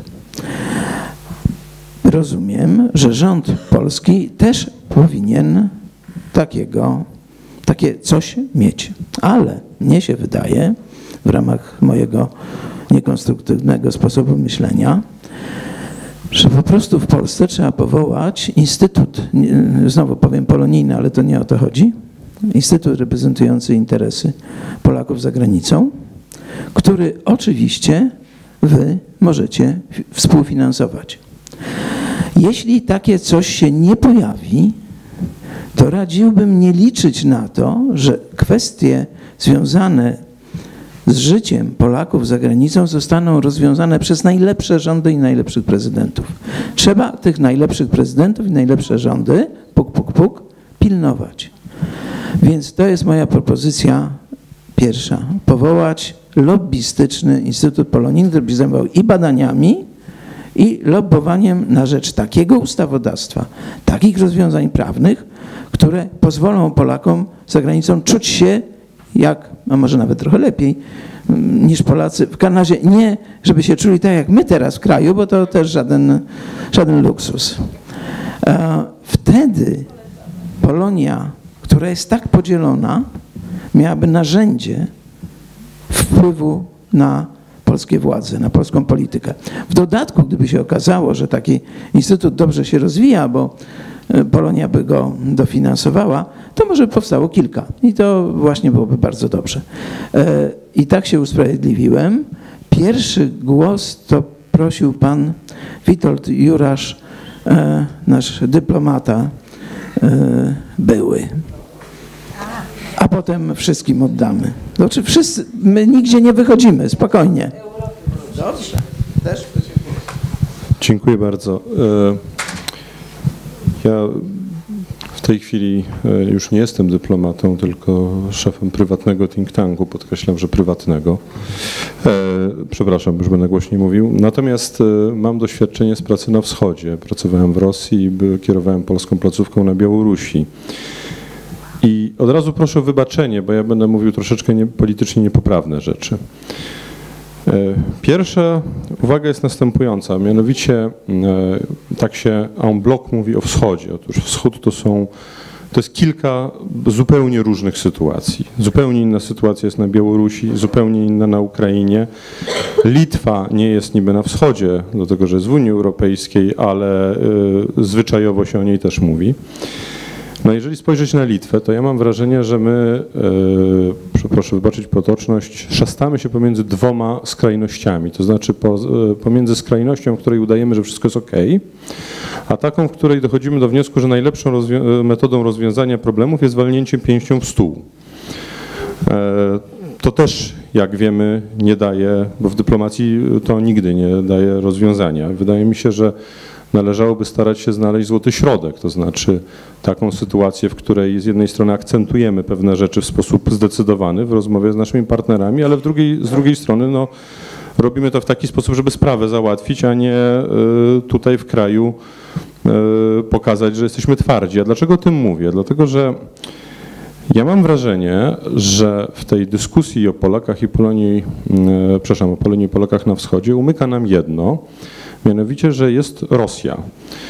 I ja zakładam, że Rosja będzie chciała, jak już usłyszała, że ten temat się pojawił e, w dyskusji publicznej, e, dużo mocniej niż e, powiedzmy, nie wiem, rok temu, że postara się sprowokować konflikt pomiędzy Polską a Białorusią, Polską a Litwą, Polską a Ukrainą. My oczywiście niczego nie załatwimy, natomiast osłabimy swoją pozycję geopolityczną. Dlatego ja bym tutaj E, miał taki postulat, żebyśmy pamiętali o tym rosyjskim elemencie, dlatego że Rosjanie mają możliwości rozgrywania e, również tej karty. Drugi element, i to się łączy, i to będzie politycznie niepoprawne. E, otóż, jeżeli lider akcji wyborczej Polaków na Litwie, pan Tomaszewski, pojawia się z Georgiewską Liętoczką, jest to jawna prowokacja w stosunku zarówno do Litwy, jak i można powiedzieć do Polski, tak? Otóż e, jeżeli my nie na to nie reagujemy, e, no to również gramy tą grę moskiewską i myślę, że warto o tym pamiętać. E, kolejny element jest następujący, mianowicie mówiliśmy o, mowa tutaj była o, o, o, o, tym, że wielu dyplomatów pełni taką negatywną rolę. Ja, proszę Państwa, nie mam jakiegoś szczególnego sentymentu do Ministerstwa Spraw Zagranicznych, ja je opuściłem nie z własnej woli. Mam bardzo krytyczny stosunek do polskiej dyplomacji, czemu daję wyraz publicznie. Ale, proszę Państwa, ja przepraszam, trochę wezmę niektórych moich kolegów w obronę. Otóż kiedy ja trafiłem na Białoruś, to mi e, życzliwi mi ludzie mówili, żebym się broń Boże nie zajmował sprawami polonijnymi, bo to się, nam, bo to się po prostu źle dla mnie skończy. No i prawdę powiedziawszy, tak to wygląda, proszę Państwa. To znaczy spotkanie e, z mniejszością polega na tym, że się wysłuchuje, że tamci to są źli, a ci to są jeszcze gorsi. E, I proszę, proszę to załatwić, bo jak pan tego nie załatwi, to znaczy, że pan trzyma z tamtymi, a nie, a nie z nami. No, wiecie państwo, ja nie jestem ubekiem, ja być nim nie mogę, tak? Ja się urodziłem w 75 roku, ja mam 40 lat. Natomiast ja się z czymś takim zetknąłem i wydaje mi się, że o tym też powinniśmy pamiętać, dlatego że to też nie może być, to znaczy konsulat ma oczywiście pomagać, ale też nie może być sytuacja taka, że ja jako szef placówki słyszę informację, jeżeli nie zostanie odwołany ten konsul, to, to, to, my napiszemy artykuł prasowy. To wiecie Państwo, to tak też być nie może. Tutaj myślę, że tu by trzeba jednak pewne partnerstwo zachować i ja się cieszę, Kamera jest skierowana w moją stronę, więc y, ja się cieszę, że tutaj widzę, że Państwo kiwacie głową aprobująco, bo to, mnie, to jest element istotny, dlatego że y, jeżeli dyplomata boi się, że po prostu jego kariera zostanie skończona, jeżeli y, no, nie podda się takiej, takiej presji, no to innymi słowy unika tego. I to jest powodem, dla którego wielu dyplomatów unika kontaktów z Polonią. Nie dlatego, że zostali zadaniowani przez jakąś centralę 30 lat temu na Rakowieckiej, tylko dlatego, że to jest niebezpieczne. Ja mówię o moim pokoleniu oczywiście. Kolejny element to, jeżeli ja już kończę, pozwolę sobie w dwie minuty postaram się i mam nadzieję, że Państwo wybaczycie. Jeżeli mówimy o Polonii na wschodzie, czy Polakach na wschodzie, no to wydaje mi się, że warto się zastanowić i odpowiedzieć na pytanie, co tak naprawdę my chcemy. Więc ja rozumiem, że są dwie opcje. Pierwsza opcja jest taka, że chcemy ściągnąć tych ludzi do Polski. E, no mamy katastrofę demograficzną, czyli to byłby dobry pomysł. Lub też druga opcja, że chcemy mieć lobby. E, no ale żeby było lobby, to muszą ci ludzie być silni, to znaczy muszą być wykształceni, muszą czuć się związani z Polską, czyli znać język polski, czyli muszą również mieć siłę gospodarczą. No, nie będą mieli e, siły gospodarczej, jak będą niewykształceni i nie będą polskim lobby, jak nie będą znać języka polskiego. Jak ich ściągamy, to rozumiem, że nie chcemy ściągnąć bezrobotnych. Skoro nie chcemy ściągać bezrobotnych, to trzeba, to fajnie by było, żeby oni byli wykształceni. Więc jak rozumiem, wykształcenie jest podstawową sprawą. Bo mam wrażenie, że my dużo mówimy o takiej stronie symbolicznej. Państwo mówicie o książkach profesora Andrzeja Nowaka. Ja y, uwielbiam czytać książki profesora Andrzeja Nowaka, natomiast ja mam takie, prawdę powiedziawszy, wrażenie, że w pokoleniu tych 20-25-latków, no w Polsce to tak różnie bywa z tym czytelnictwem. E, I e, ja pamiętam spotkanie z młodzieżą polską na Białorusi, spytałem, czego oni chcą. I taka jedna młoda dziewczynka, dziewczyna, przepraszam, no, młoda kobieta, 20-letnia mi powiedziała, że no ona to strasznie by chciała, żeby te wizy szybciej wydawać, bo ona kiedyś kupiła bilet na koncert Beyoncé w Berlinie, a nie dojechała, bo nie dostała wizy.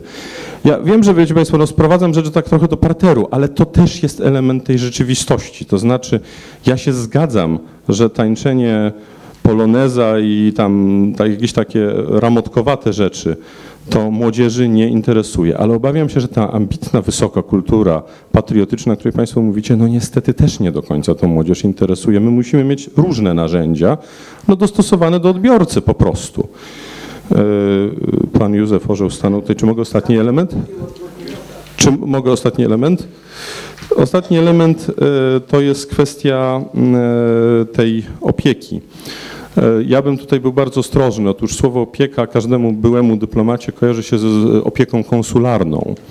A słowo opieka konsularna może być sprawowane wyłącznie nad obywatelem własnego kraju, więc rzeczywiście ja bym tutaj się przychylał, że może o współpracy e, z Polonią i Polakami, bo e, inaczej to pobrzmiewa taki ton, który y, no, zostanie odebrany, y, czy może zostać odebrany y, niezgodnie z intencją. Dziękuję. Przepraszam, najpierw tutaj, potem przejdziemy tam. Jolu? To ja może do Europy teraz wszystkich sprowadzę i od 28 lat w Szwecji, e, w Sztokholmie. I Chciałam, chciałam Państwu powiedzieć, to już bardzo dużo poruszyliście z tego, co ja chciałam poruszyć. Natomiast y, może mieszkam akurat w mieście, w kraju, w którym najwięcej agentów przysyłano kiedyś. I u nas Bronisław Komorowski wygrał, y, na SLD się głosuje, więc mamy trochę specyficzną tam sytuację. Y, ja myślę, że z powodu ograniczonych środków, jakie nasze państwo ma na pomoc czy na współpracę z Polonią, my na Zachodzie mamy trochę lepszą sytuację materialną. I ja ciągle myślę o tych Polakach na wschodzie. Właśnie tam powinny być te pieniądze bardziej ukierunkowane. Natomiast u nas za te pieniądze wspomagane są organizacje, stare, dawne organizacje, które były zakładane przez y, nasze stare władze i tak dalej. Na to idą te pieniądze. Nie idą na nic innego. W tej chwili to jest niby w formie grantów, niby w formie na jakieś projekty, ale te pieniądze są bardzo tak skierowane w jedną stronę tylko. To jest y, druga rzecz. Y, Szkoły polskie, akurat jestem, mieszkam w kraju, gdzie język polski jest, każde dziecko ma prawo do własnego języka i są nauczyciele, którzy nauczają języków y, no, krajów, z których się pochodzi, także to nie ma problemu, natomiast są szkoły i też jest problem, bardzo dużo jest dzieci w tej chwili i, i też są takie sobotnie szkoły i wieczorowe, których przy, a przy konsulatach i przy, przy, przy konsulacie. Teraz tak. Chciałam powiedzieć, że mm, współpraca, y, to znaczy bardzo dużo zależy od osób, które pracują y, w naszych y, ambasadach i konsulatach. Przez okres tych dwudziestu paru lat było fajnych dwóch konsuli, którzy bardzo byli otwarci na Polonię, którzy nie przebierali, że tak powiem, nie odsiewali ludzi ze względu na ich no, poglądy, czy i to było naprawdę, to był dobry okres wtedy dla Polonii. To było dwóch, ostatnio był pan konsul Radek i, i naprawdę świetnie się z nim współpracowało. To, to znaczy, szczególnie chodzi, jeśli chodzi o kulturę. Natomiast to, co pani prezes powiedziała, y, mamy Instytut Polski, który właściwie przestał być Instytutem Polskim. W tej chwili jest pani Olga Tokarczuk, firm księgi, y, książka Księgi Jakubowe. Zanim się ukazała na rynku polskim, już była przetłumaczona. To jest ogromna, wielka księga na szwedzki. No ale tam mamy dużą emigrację z 68 roku, więc y, to błyskawicznie poszło. I mają, mają być spotkania. Instytut też panią, y, też panią Bikont bardzo reklamował. Też. Właściwie to nie jest Instytut Polski. On po prostu nie pilnuje, nie rozpowszechnia polskiej kultury. I, tak, zdecydowanie. I na to też nasze władze powinny zwrócić uwagę, żeby, żeby ta polityka była bardzo taka propolska. Teraz ja już wiem, już, już kończę. Jeszcze chciałam powiedzieć o drobnych sprawach, y, typu, ponieważ y, tam mieszka też dużo polskich inżynierów, dużo polskich naukowców jest. Polska jakoś jest, podejrzewam, znaczy jest to tak bardzo pozornie, że jest otwarta na, na, na Polaków, y, z, załóżmy mających jakieś tam stanowiska. Natomiast tak nie jest w praktyce wcale. Ja na przykład się kiedyś zwróciłam do konsulatu, y, pracowałam w korporacji, która mogła mieć, z której Polska mogła mieć korzyść z kontaktów. Ja powiedziałam, mam tutaj takich i takie, takie możliwości, ja tam miałam dobrą pozycję, miałam takie i takie możliwości, możecie Państwo, z, mogę zorganizować jakieś spotkanie z ludźmi odpowiedzialnymi za to, za to, za to. W ogóle nasz konsulat nie był tym zainteresowany, a to już było całkiem niedawno. Także y, jest jeszcze jedna rzecz, którą, którą my mamy, y, duże archiwa mamy polonijne. E, W tych archiwach jest polska historia. Bardzo dużo jest polskiej historii w tych archiwach. To są historie ludzi, którzy po prostu byli kimś w Polsce, bardzo często. Wiem, czy y, te archiwa powinny pozostać dalej za granicą, czy, na, czy takie najważniejsze, najważniejsze y, dokumenty powinny w jakiś sposób być zgromadzone w jakimś, nie wiem, muzeum polonijnym w Polsce, czy to do pani prezes, bo pani jest aktywna, y, u nas jest a- archiwum. Tak, także to jest też taki, taki i ja myślę, że jeszcze jedno też takie z bieżące sprawy. I to takie z ostatnich, ostatnich załóżmy 8 lat. Y, Ja mam y, telewizję y, satelitarną i mam zwyczaj czasami patrzeć wieczorami na dziennik, na coś. I cały czas słyszałam, jak pan Tusk, pani Kopacz, bo Unia od nas tego wymaga. A ja patrzę, że w Szwecji Unia od niczego w Szwecji nie wymaga. I to, nie, ale Jusku, po prostu czasami ja miałam ochotę wejść w ten telewizor i powiedzieć do Polaków się odezwać. Słuchajcie, to jest kłamstwo. Nie wszyscy to wiedzą. Niestety przykro mi bardzo. Nie sobą. I teraz ostatnie wystąpienie, które mm, teraz było znowuż. Ja bym chętnie znowuż gdzieś powiedziała coś, ale ja no nie mam jakiejś możliwości. Jak pan Kaczyński powiedział o Szwecji, o tym prawie szariatu. Niestety, ci ludzie żyją według własnych praw. Ja bym, I w takich sytuacjach powinniście, nie wiem, szukać czy, czy zasięgać, y, no, sięgać do wiedzy ludzi, którzy żyją w takich krajach. I ja bym to powiedziała, że oni żyją według własnych praw, oni w ogóle się nie liczą ze Szwecją, raczej Szwedzi się ich boją. Y, Problem jest też również z chorobami. Niedawno, parę lat temu, znaczy całkiem niedawno, w bardzo dobrej dzielnicy Bromma w Sztokholmie, gdzie sami Szwedzi żyją, maleńkie są w Szwecji przedszkola, 20-30 dzieci, jedna grupa pięcioro dzieci i są tak zwane pomocy oprócz wychowawczyń. Jak się okazało, pomoc była z Turcji i zaraziła wszystkie dzieci, wszystkich wychowawców odmianą ciężką ym, gruźlicy, na którą w ogóle leków nie mieli. Wszystko w tej chwili ucichło, wszystko jest teraz cichutko, nie wolno o tym pisać. Y, O, tych, o tym morderstwie Państwo słyszeliście też już cicho, panowie. Więc takie rzeczy to, żeby poprzeć to, co mówią niektórzy politycy, powinniście sięgać do, do wiedzy właśnie ludzi, z których z krajów pochodzą. No. To tyle, dziękuję. Bogusław Domaszewski, mieszkam we Francji od 50 lat. Dok- Dokładnie za 4 miesiące będzie 50 lat. A to nie jest istotne. Yy, Krótką propozycję mam, żeby powrócić do tej koncepcji firm polonijnych, które w swoim czasie yy, były lansowane. Tylko, że oczywiście firmy polonijne były wykorzystywane przez ubeków do tego, żeby y, tworzyć swoje własne fortuny. Ale pomysł y, firm polonijnych można byłoby od, odgrzać, żeby y, Polonia, członkowie Polonii mogli w Polsce robić dobre biznesy po prostu, dlatego że biznes według mnie przyciąga e, przyciągnąłby Polaków do kraju i vice versa.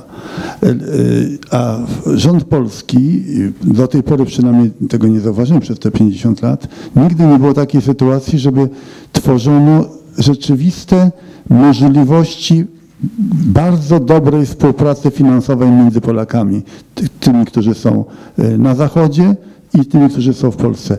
Ja tutaj nie mówię o Kazachstanie i o Dalekim Wschodzie, bo to, bo to już jest w ogóle inny problem, ale głównie e, to jest moja koncepcja, moja, moja sugestia.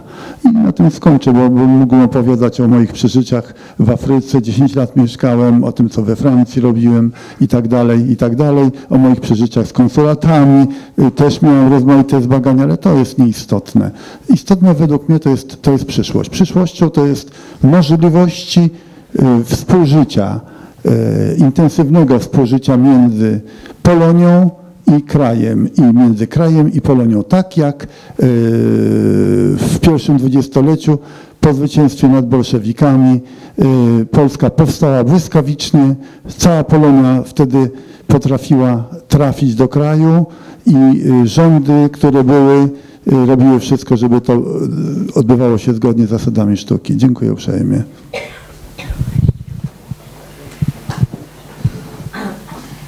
A teraz Anglia. Jaka Anglia, się tylko tam urodziłam.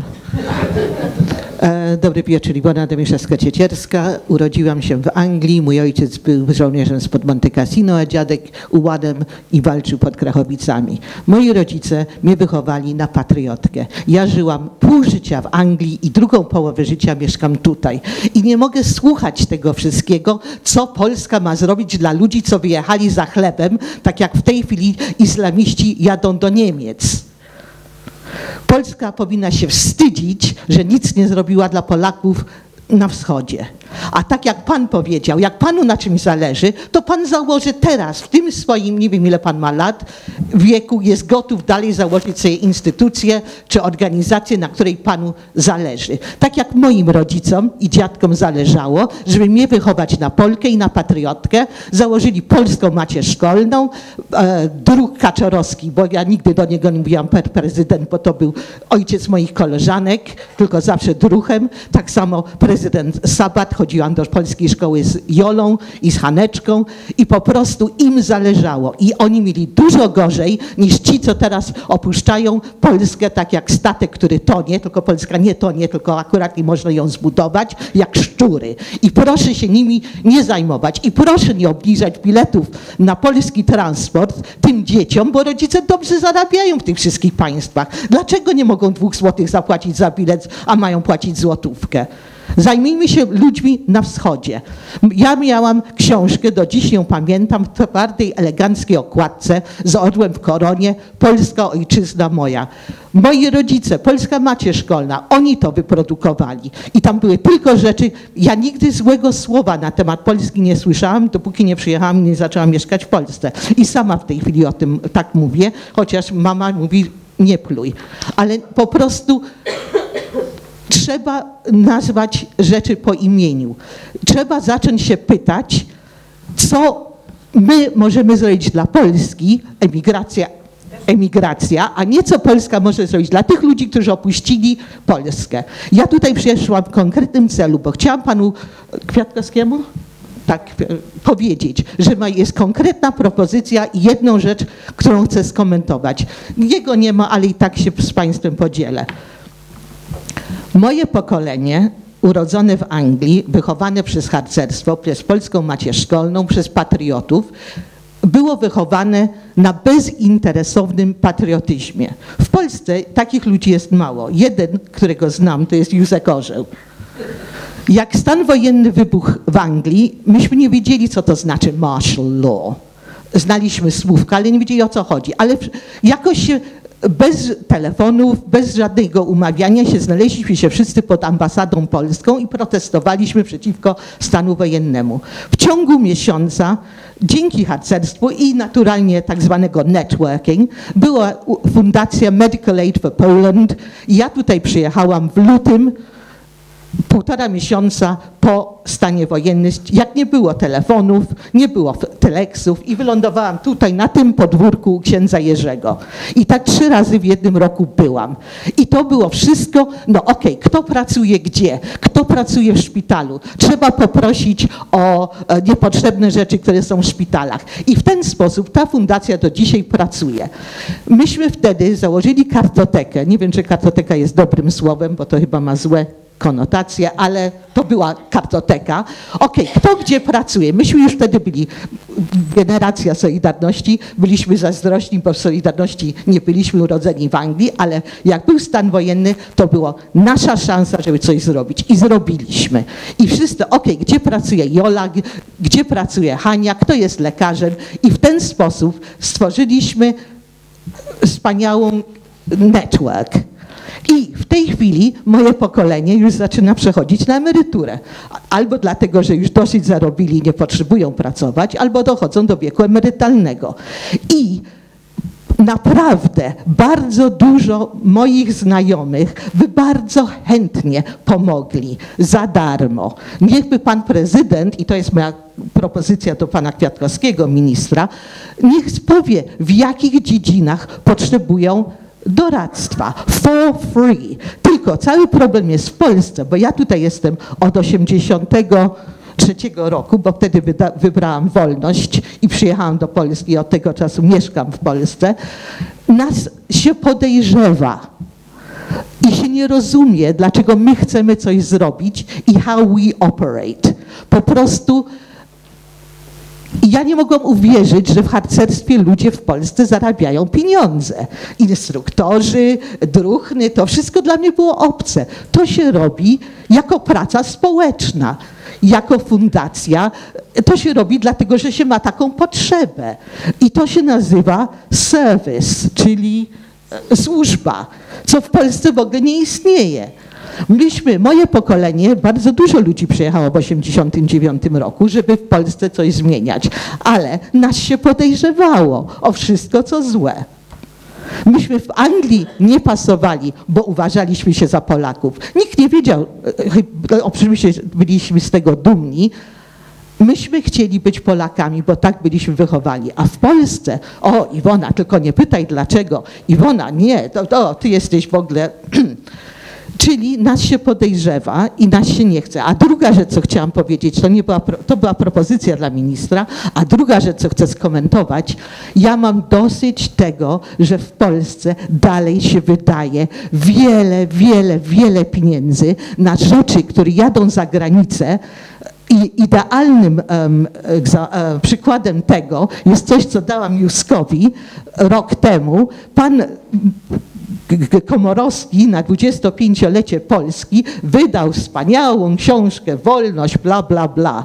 Tam nie było linijki, dosłownie, bo Juskowi podkreśliłam na żółto, gdzie nie było błędu w języku angielskim. I to takie błędy, że naprawdę wstyd, wstyd i wstyd. I ja podejrzewam, że Obama i wszyscy inni dostali tą książkę, z czego Polska była bardzo dumna, bardzo dużo pieniędzy się na to wydało i naprawdę there is no excuse. Przepraszam, emocjonalne e, Już patrzę. Proszę Państwa, pewien pan, będąc architektem, pracował przy obudowie Starego Miasta w Warszawie. Zmarł, jego syn zrobił film jak Feniks z popiołów. Wspaniały film w języku angielskim, zatrudnił angielskich aktorów, mówili pięknie. Z tym filmem jeździł po ambasadach, był w Stanach Zjednoczonych, wielokrotnie ten film pokazywano, był w Japonii. Świat uznał, że to jest fenomen światowy. Nigdzie na świecie nie ma tak dużego miasta zniszczonego i odtworzonego z pamięci, bo nie było dokumentacji. Były rysunki robione i mierzone. Proszę Państwa, przyjechał do Polski, tak jak Państwo mówią, wrócił. Poszedł do telewizji, chciał ten film puścić. Nie przyjęto. Nie przyjęto, po co nam taki film, który mówi o Polsce. Przyjechał, założył instytut, działa, jeździł po uczelniach wszędzie. Nikogo to nie interesuje jego działalność. I pan mówi o powrocie, proszę pana, tu nie chcą tych ludzi. Państwo przed tym powiedzieli. W Polsce przedsiębiorca taki jak ja, to pani powie, że nikt nie pracuje społecznie. Proszę panią, ja robię to społecznie. Tu przychodzę i wie pani, ja to robię. Nie no, proszę panią, i, i, i odpowiadam i nic za to nie chcę. Ale proszę państwa, wiem, że niszczy nas korupcja.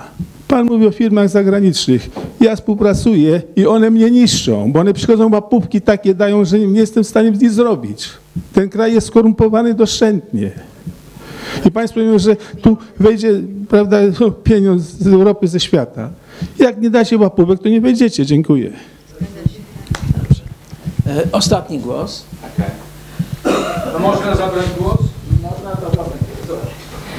E, Włodzimierz Sobczyk, a teraz e, może głos rodzica, którego dziecko znajduje się na emigracji w Irlandii.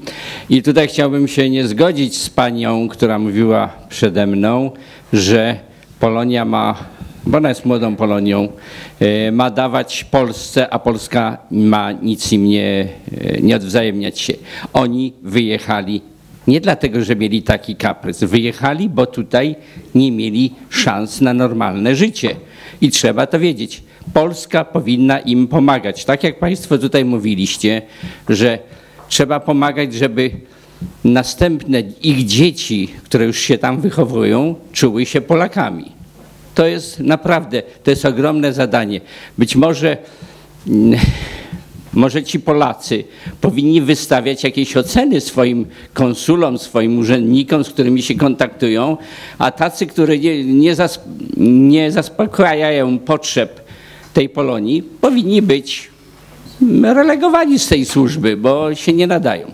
Natomiast do Państwa, którzy tutaj są ze Stanów Zjednoczonych, mam pytanie. Jakie warunki musi Polska spełnić, żeby Polonia zgodziła się, była chętna inwestować w Polskę, rozwijać przemysł, biznes w Polsce, bo tak jak tutaj Pan powiedział, rzeczywiście tu są inne warunki. E, nie ma w tej chwili sytuacji takiej, ja nie widzę takiej sytuacji, żeby biznesmen polonijny ze Stanów Zjednoczonych chciał tutaj się użerać z tymi wszystkimi problemami, które są? To jest jedno pytanie. Drugie pytanie, mam apel do Państwa, żebyście Państwo nas wzmocnili swoim, swoją wiedzą, doświadczeniem. Wydaje mi się, że Stany Zjednoczone są organizmem dosyć skutecznym. I Pani Mario, Pani doświadczenie z prawem, znajomość prawa, proszę spróbować pomóc naszej polskiej legislaturze, żeby, żeby to zmieniła. Ja Państwu dam przykład. Wczoraj byłem na szkoleniu e, na członków komisji wyborczej i w prawie polskim jest, że przy głosowaniu korespondencyjnym przewodniczący komisji ma ostemplować karty wysyłane do wyborcy. Nawet o tym nie wiedziałem, ale pokazano mi to. Wstaję, pytam się prowadzącego, kiedy zostanę wezwany. A nie, to my już żeśmy wysłali bez pana. Czyli po prostu urzędy administracji publicznej nie szanują prawa, które jest im na, na, nałożone. Więc przy takim podejściu, oczywiście ta y, być może regulacja była niepotrzebna, być może że oni praktycznie zastosowali, ale takich dysonansów nie powinno być. Dziękuję. Józek, mam odpowiedzieć, czy... Nie, nie, może na końcu. Dobrze. Pewnie wszyscy będziecie chcieli odpowiedzieć, ale ja chciałem tylko wyjaśnić jedną rzecz, albo tak mi się wydaje, że ją wyjaśnię, że to jest jakieś pewne nieporozumienie. Pierwsze, to Polska nie ma pomagać Polakom za granicą, szczególnie tym na zachodzie. Polska ma stworzyć tym Polakom równe prawa, takie jak mają Polacy w Polsce, ale znowuż to będzie na nic, dopóki nowa władza tej Polski nie oczyści z tego, o czym mówił pan Stanisław, bo wtedy ani Polonia nie będzie chciała do nas przyjeżdżać, ani tu Polacy nie będą chcieli tutaj zostać i rozwijać biznes, więc to są jakby proste rzeczy. Pierwszy krok nie należy do Polonii. Pierwszy krok należy do nowej władzy polskiej, która albo to zmieni, albo będziemy żyli w takim bagnie, jakim żyjemy. E, przepraszam. Ostatni głos z sali. Moje nazwisko Andrzej Laskowski. Mijamy się z Krzysztofem w Los Angeles. Tak jest. Jestem tu przypadkiem, bo przyszedłem, będąc w Polsce na krótki czas, żeby usłyszeć profesora Nowaka, którego znam z YouTube. Podzielę się z Państwem taką bolączką, a mianowicie osoby, które mają w Los Angeles TV Polonia, mówią o katastrofie smoleńskiej, tak jak mówi TV Polonia. Raduje się moje serce, widząc młodych ludzi, którzy będą nas reprezentowali i mam nadzieję, że przy Waszej pomocy uda się coś zmienić. Jak również chciałbym bardzo podziękować za pracę, którą na rzecz Polonii, nie tylko i Polski, wykonuje Pani Minienda ze swoim mężem. Ktokolwiek interesował się katastrofą smoleńską, wie dobrze, że mąż pani, jak również i pani, mieliście niesamowitą odwagę, żeby powiedzieć to, co zostało powiedziane na temat tej katastrofy, kiedy jeszcze nikt na świecie nie mówił tak jak wy. Jak również ogromnie się cieszę, że pani jest w Kongresie Polonii Amerykańskiej. To jest dla mnie, jako Polaka mieszkającego w Stanach Zjednoczonych, ogromna rzecz. Nie będę tego wątku rozwijał, jako że wszędzie się łączą interesy i wpływy różnych osób, tak jak to bywa, ale jest to pozytywny krok e, do przodu. Jeżeli się nie mylę, to pani wygrała jednym głosem.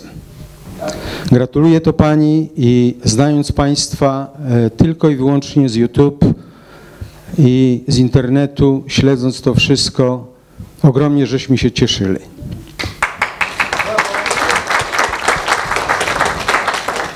Już? Okej, okay, nie, nie, bo pan stanął, to myślałem. E, tak. Chciałem to powiedzieć na początku, dlatego że e, jeżeli chodzi o Stany Zjednoczone i szkoły, na przykład w Los Angeles, nie chcę tego wątku rozwijać. One istnieją, szkoły sobotnie, dzięki patriotyzmowi młodych ludzi i akurat w Los Angeles polskiemu harcerstwu które y, bardzo sprawnie działa. Do niedawna jeszcze mieliśmy na miejscu News of Polonia, e, które wydawało, dru, wydawał drugie pokolenie górali polskich. Marcin to wydawał i po 20 latach musiał to zamknąć. To było pismo bezpłatne, które było jedynym pismem, które broniło interesu Polski.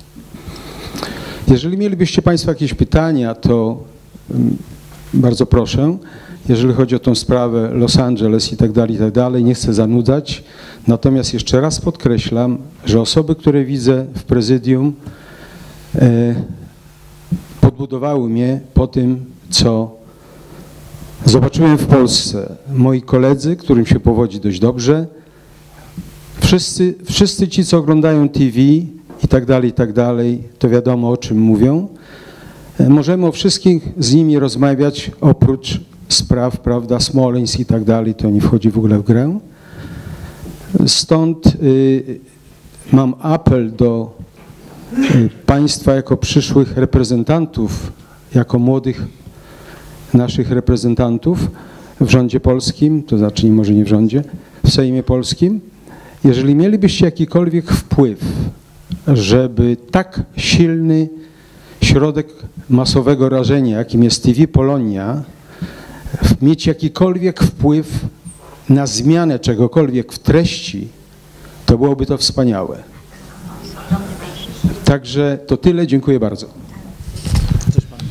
Ja może y, odniosę się do, do miło Cię widzieć. y, Proszę Państwa, to jest wybitny finansista, chcę, żeby Państwo widzieli.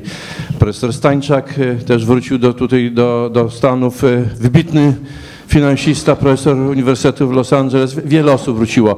Ja bardzo dobrze znałem, nawet tak się składa, że spowinowacony byłem ze świętej pamięci e, premierem, a później e, prezydentem Sabatem i byłem jednym z organizatorów też e, Rady Narodowej na Uchodźstwie w Kanadzie i w Stanach Zjednoczonych, ale to są, o tym, nie, o tym chciałem mówić, bo to rozumiem, co Pani mówi. Oczywiście, że Nikt nie oczekuje, że, że rząd polski będzie jakieś wypłacał e, pensje e, nam czy coś i tak dalej. Czy więcej my możemy, my możemy dołożyć. Nasza fundacja, jak do tej pory e, w ciągu 10 lat istnienia w Polsce siostrzanej, czy tam córki fundacji, wydała około 2,5 miliona dolarów, proszę Państwa. Także e, e, te, te pieniądze płyną w jedną stronę też, ale E, To było bardzo ważne pytanie, które Pan zadał, a mianowicie e, e, co zrobić, żeby biznes chciał przyjść do Polski? No proszę Państwa, nas nie interesują specjalne, Pan, przepraszam, zadawał tak, specjalne strefy, ulgi podatkowe i tak dalej. My chcemy być traktowani tak samo jak obywatele w Polsce. Taka jest generalna zasada, jeśli chodzi o biznes. Dużą nieufność w prawdziwym biznesie budzi specjalne traktowanie firm Polonii. Naprawdę dużą nieufność. Do spekulacji to jest, to jest dobre, prawda? No bo włożę pieniądze, zarobię, kupię akcje tam czy obligacje Skarbu Państwa, sprzedam korzystnie, wycofam się, wy- wywiozę pieniądze i tak dalej. To nie jest biznes, to jest oczywiście finansowe przedsięwzięcie i spekulacja. Każdy to robi, powiedzmy, kto ma na to okazję, prawda? Więc y, to ściąga y, często, gęsto charaktery różne. Jakkolwiek trzeba wówczas zachęcić, żeby ten biznes chciał zostać w Polsce i te pieniądze zarobione w Polsce chciał zainwestować. Wtedy ważne jest normalne traktowanie. Powiem Państwu tak e, krótko naprawdę. E, nasza firma e, zajmowała się, myśmy byli firmą zbrojeniową, pracowaliśmy dla Departamentu Obrony Stanów Zjednoczonych, Kanady, budowaliśmy centra zarządzania i centra dowodzenia dla armii kanadyjskiej, dla marynarki wojennej i tak dalej, i tak Próbowaliśmy też, ponieważ Polska nie posiada centrów zarządzania kryzysowego, znaczy etaty są, komórki i faksy ale to nie jest zarządzanie kryzysowe. W Kansie jeszcze to był wtedy premierem pan Buzek, przyjechał Jean Chrétien, delegacja cała przyjechała z Kanady, bo Kanada chciała Polsce zafundować takie przedsięwzięcie. Naprawdę, bo i tak większość prac byłaby wykonana w Kanadzie, więc y, podatnicy, prawda, by otrzymali te pieniądze i podatki i tak dalej, i tak dalej. Nie muszę o tym rozpowiadać, prawda? No i taką próbę podjęliśmy. Y, Ja namówiłem moich udziałowców, żebyśmy kupili firmę w Polsce. Nie chcę opowiadać o przetargu, do którego nas zaproszono, gdzie nas po prostu oszukano, gdzie, gdzie firma produkująca czekoladki wydała przetarg na zakup firmy e, informatycznej, e, a jedyna startująca informatyczna firma nasza została w sposób proceduralny, niewłaściwy, z złamaniem prawa została wycofana. Ale Kupiliśmy drugą firmę, Unitra się nazywa, wszyscy prawda pewnie Państwo znają, 140 fabryk, wszystko pięknie, ślicznie, no i Po dwóch latach okazało się, że nasza inwestycja, przygotowanie inżynierów, przerzut technologii tak i tak dalej. I ta firma miała ten, te nasze produkty sprzedawać i, i oferować usługi tutaj w Europie, włączając to państwo Izrael. No, bo też w Izraelu budowaliśmy Centrum Zarządzania Kryzysowego dla zachodniego brzegu.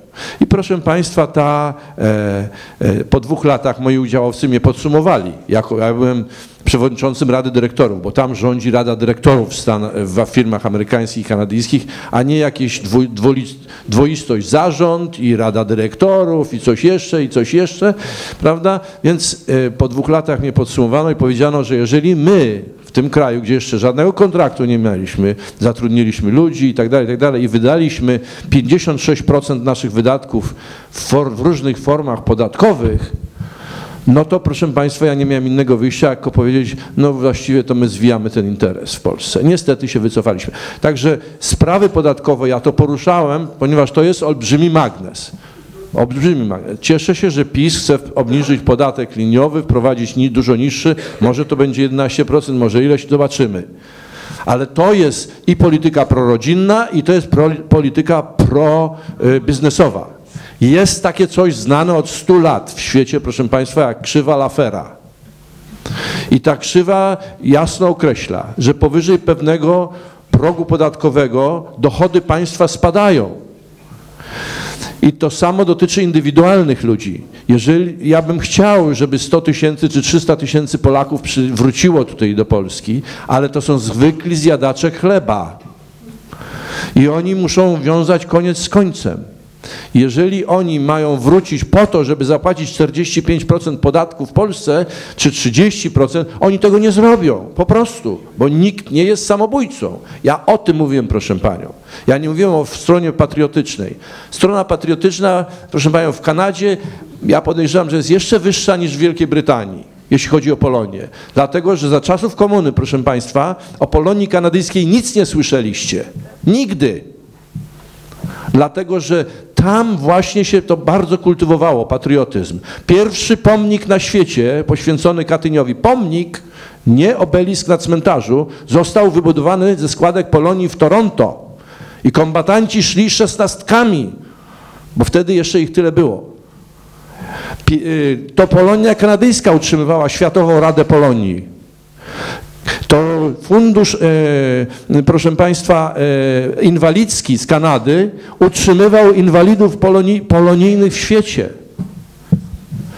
To Skarb Narodowy dostawał 65% wpływów. Skarb Narodowy taki istniało, takie przedsięwzięcie za czasów komunistycznych w Polsce, a, a jak myśmy tam jeszcze mieszkali. 65% wpływ, wpływało z Kanady. I dlatego nigdy nie słyszeli Państwo o Polonii kanadyjskiej, tylko o Kanadzie pachnącej żywicą. Także o tych rzeczach trzeba pamiętać. I, i mm, ja nie mówiłem o rozmienianiu patriotyzmu na dolary. To wcale nie o to chodzi. Mnie chodzi o to, żeby polski szewc, polski krawiec, mm, polski garnitur, polski e, e, fryzjer, kosmetyczka, żeby oni mieli korzyść jakąś, która napędzać będzie im biznes.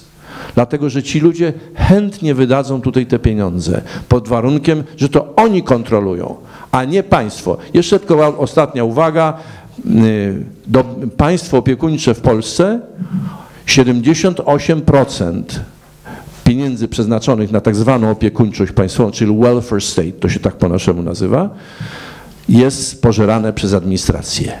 O, pamiętajmy też o tym. Podatki to jest też forma złodziejstwa. I, I ja do panów posłów apeluję, żeby uważali bardzo na stronę podatkową, bo tym można naprawdę ludzi zachęcić albo zniechęcić. E, Semantyczna różnica, ale jest. Przyszłych posłów. Mam nadzieję, że panowie wejdziecie do Sejmu. Życzę z całego serca. Proszę. Proszę Państwa, ja króciusieńko. Najpierw chciałam y, adrem pani, y, która poruszyła wątki y, szwedzkie. Otóż to jest bardzo istotna uwaga związana z tym tutaj rzeczywiście Stany Zjednoczone zdominowały wszystkie inne kraje, ale z racji potęgi, sił i możliwości. Natomiast bardzo ważnym jest nasza pozycja w krajach Unii Europejskiej, która jest kompletnie niewykorzystywana. I jeżeli chodzi, to jest ta uwaga związana z tym, że mamy prawo uczyć się języków narodowych. Takie, prawda, w Szwecji i w związku z tym Język polski także tam ma zupełnie inną pozycję. Otóż, proszę Państwa, takie prawo właściwie jest we wszystkich krajach Unii Europejskiej, tyle tylko, że to prawo rząd polski wywalczył w nielicznych krajach. I to jest cały problem. To jest właśnie ta polityka ustępowania, zagłaskiwania i niepodkreślania naszych e, praw, nawet na terenie tym, który sami sobie stworzyliśmy, przystępując do Unii Europejskiej kosztem pewnych wyrzeczeń, prawda? I na przykład, jeżeli e, dzieci w Niemczech czy w Wielkiej Brytanii mogą w ramach e, nauczania w normalnych szkołach angielskich i niemieckich uzyskać prawo do nauczania języka polskiego jako obcego i uczyć się za państwowe pieniądze po prostu w ramach języka obcego, tak jak w Polsce e, języka angielskiego, tak w innych krajach, w których są gigantyczne w tej chwili przepływy Polonii, w mm, Holandii, zdaje się w Irlandii również, takich praw Polacy nie mają. W związku z czym to chodzi o to, żeby nie dawać coś Polonii, tylko żeby wywalczyć to, co się jej należy w ramach pieniędzy, które wkładamy do wspólnego koszyka unijnego, prawda? Poruszam również kwestię prawa języka polskiego jako języka mniejszości. To jest ta dysproporcja pomiędzy tym, w jaki sposób są traktowani na przykład Niemcy w Polsce, a Polacy w Niemczech. Bo prawa do nauczania języka obcego w Niemczech mamy, natomiast nie mamy praw mniejszości narodowej, prawda? To są zupełnie inne. To są nasze szkoły wówczas, to jest cała masa innych przywilejów, których także nie wywalczyliśmy przez ostatnie lata, w związku z czym to do y, zestawu zadań do wykonania dla przyszłych posłów. Także to są bardzo istotne sprawy, świadczące o naszej oczywiście ustępliwości, spolegliwości jako y, polityki y, na terenie Unii Europejskiej. W związku z czym to są tematy y, do załatwienia. Teraz jeszcze uwaga związana z Polonią w Wielkiej Brytanii i w Kanadzie, z tą tak zwaną starą Polonią. Proszę Państwa, to byli nasi wspaniali patrioci, którzy musieli zostać w tych krajach, którzy nie zdążyli wrócić do Polski albo nie chcieli do niej wrócić. Także Pani rodzice zapewne to nie są osoby, które z wyboru znalazły się w tej chwili. A no właśnie, i tutaj odróżnijmy. Odróżnijmy kwestię etosu i służby. Nie miejmy złudzeń, że obecnie fala y, 200, y, 2 milionów Polaków, którzy się znaleźli w krajach głównie unijnych, tak, w Niemczech, w Holandii, w Wielkiej Brytanii i w Irlandii, będzie dokładnie takim samym etosem, o jakim pani mówi, się kierować. Trzeba. polskie szkoły, to niech sobie E, To oni właśnie zakładają, proszę pani. Ja znam dziesiątki szkół w Irlandii, które powstają. Dzieci siedzą na parapetach, jest 100 dzieci w klasie 30-osobowej, bo po prostu nie ma dla nich innych warunków stworzonych i oni chcą się uczyć. Natomiast minimalna, chociaż zainteresowanie tym, że takie szkoły powstają na terenie danego regionu działania ambasady czy konsulatu, nie zawadziłoby. Dlatego, ażeby oni się poczuli chociaż w minimalny sposób dostrzeżeni i dowartościowani, że właśnie chcą to robić. I tylko tyle. A oni takiego zwrotnego sygnału nie mają. I to ostatnia króciusieńka uwaga, podziękowanie dla pana, który z YouTube'a zna pana profesora Nowaka. E, Nie wiem, czy pan profesor Nowak miał okazję się z panem poznać wcześniej e, tutaj na tym naszym spotkaniu. E, Otóż od, i też uwaga na temat służby. Od trzech lat charytatywnie organizujemy spotkania z panem Andrzejem Nowakiem i je wrzucamy do YouTube'a jako Solidarni 2010, jak również z panem Markiem Dyżewskim i etos służby jest znany jeszcze paru osobom w tej Polsce. Dziękuję. Czy ja też chciałabym właśnie nawiązać do tego etosu służby, szczególnie w organizacjach harcerskich. Rzeczywiście na terenie Polski działają cztery duże organizacje harcerskie. E, Największą jest organizacja Związku Harcerstwa Polskiego i tam faktycznie są e, te mm, stanowiska płatne. Natomiast Związek Harcerstwa Rzeczpospolitej, e, Skauci Europy oraz Stowarzyszenie Harcerskie jest całkowicie, całkowicie społeczne. Co ciekawsze, jeżeli chodzi o Związek Harcerstwa Rzeczpospolitej, e, miałam w Nowym Jorku spotkanie właśnie z drużyną działającą na terenie Nowego Jorku, e, wchodzącą w skład chówca e, Wschodnie Wybrzeże i okazało się, że mają właśnie ściślejsze związki z moją organizacją. Ja jestem również członkiem, byłam instruktorką Związku Harcerstwa Rzeczpospolitej niż Związku Harcerstwa Polskiego, więc Związek Harcerstwa Polskiego poza granicami ma ścisłe kontakty ze Związkiem Harcerstwa e, Rzeczpospolitej. Mm, Powiem szczerze, że w czasie moich e, spotkań i rozmów e, z naszymi rodakami, zarówno przez maila, jeżeli chodzi o Niemcy, Holandię, Stany Zjednoczone, Anglię, Irlandię, Kanadę, uderzało mnie takie właśnie ich pewnego rodzaju bezradność, w pewnym momencie przeradzająca się w złość, jeżeli chodzi o kontakty z konsulatem. I w tym momencie pierwsza tutaj wypowiedź pana, E, powoduje, że we mnie się budzi pewien taki opór, że przecież konsulat jest przedstawicielem państwa. Konsulat ma pomagać rodakom, mamy taką, a nie inną pozycję geopolityczną. Jesteśmy pomiędzy dwoma mocarstwami, które na pewno nie lubią, y, jeżeli ktoś jest na kolanach i nie wolno być na kolanach. Trzeba wstać z tych kolan. I wydaje mi się, tak jak zresztą rozmawiałam również z księżmi ze wschodu, y, w Polakach jest chęć rozmawiania na różne sprawy, również te patriotyczne, tylko oni się bardzo boją. Oni się boją tak naprawdę nawet członków swojej własnej rodziny. Jeden właśnie z księży opowiadał mi, jak rozmawiał z jednym panem, rozmawiali na tematy właśnie dotyczące Polski, dotyczące tego, co się dzieje, ich problemów i w pewnym momencie zaczął mówić o zasuwie do drzwi. Co się okazało? Z tyłu stanęła jego siostra. Więc ja, ja, rozumiem, że, że praca na wschodzie, na placówkach dyplomatycznych jest bardzo ciężka, ale wydaje mi się, że zawsze taka była. Bardzo dziękuję również za słowa y, skierowane tutaj w stosunku, w stosunku do, do, państwa, do państwa Binienda.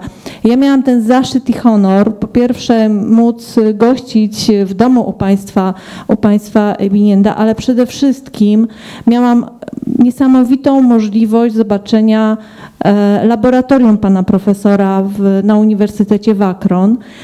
I powiem Państwu jedną rzecz, że to laboratorium nie jest imponujące, jeżeli chodzi o wielkość, natomiast rzeczy, które są tam badane, aparatura, jak również wiedza, która tam powstaje, moim zdaniem będzie trwała na wieki.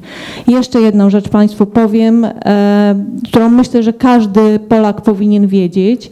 Na Uniwersytecie Wakron nie ma czegoś takiego jak telewizja przemysłowa, nie ma żadnych środków bezpieczeństwa, za wyjątkiem korytarza, gdzie porusza się pan profesor Binienda. Zostały założone tam kamery dla jego bezpieczeństwa. Wydaje mi się, że e, dla nas, jako, jako dla, dla osób, które Wiemy o tych osiągnięciach, wiemy, co pan profesor zaczął robić i proszę mi wierzyć, nadal to kontynuuje. Byłam również świadkiem wykładu na ten temat e, i, i są kolejne nowe, nowe, e, nowe badania prowadzone i, i nowe, nowe wyniki. E, myślę, że przekazywanie tego z ust do ust, że coś takiego się dzieje jest bardzo ważne. Powiem Państwu też dlaczego. Dlatego, że jak ja wróciłam w Stanach Zjednoczonych właśnie z wizyty u Państwa, państwa, u państwa y, Biniendów i mówiłam o tym, że byłam, to ludzie tam mieszkający mówili, no dobrze, ale Pani Małgosiu, naprawdę to tak jest, bo to jest tak bardzo, tak bardzo minimalizowane w mediach, nawet naszych. I dopiero jak pokazałam zdjęcia, tak naprawdę widać, widać ten, ten ogrom. Jestem również, co Państwu również jest wiadome, e, osobą bardzo zainteresowaną sprawą smoleńską. Mój mąż zginął e, w Smoleńsku. E, jest tutaj również pan, pan Marcin Guguski, który również tą sprawą jest szczerze zainteresowany. Podobnie jak Polonia, myślę, że tego na pewno nie, nie popuścimy.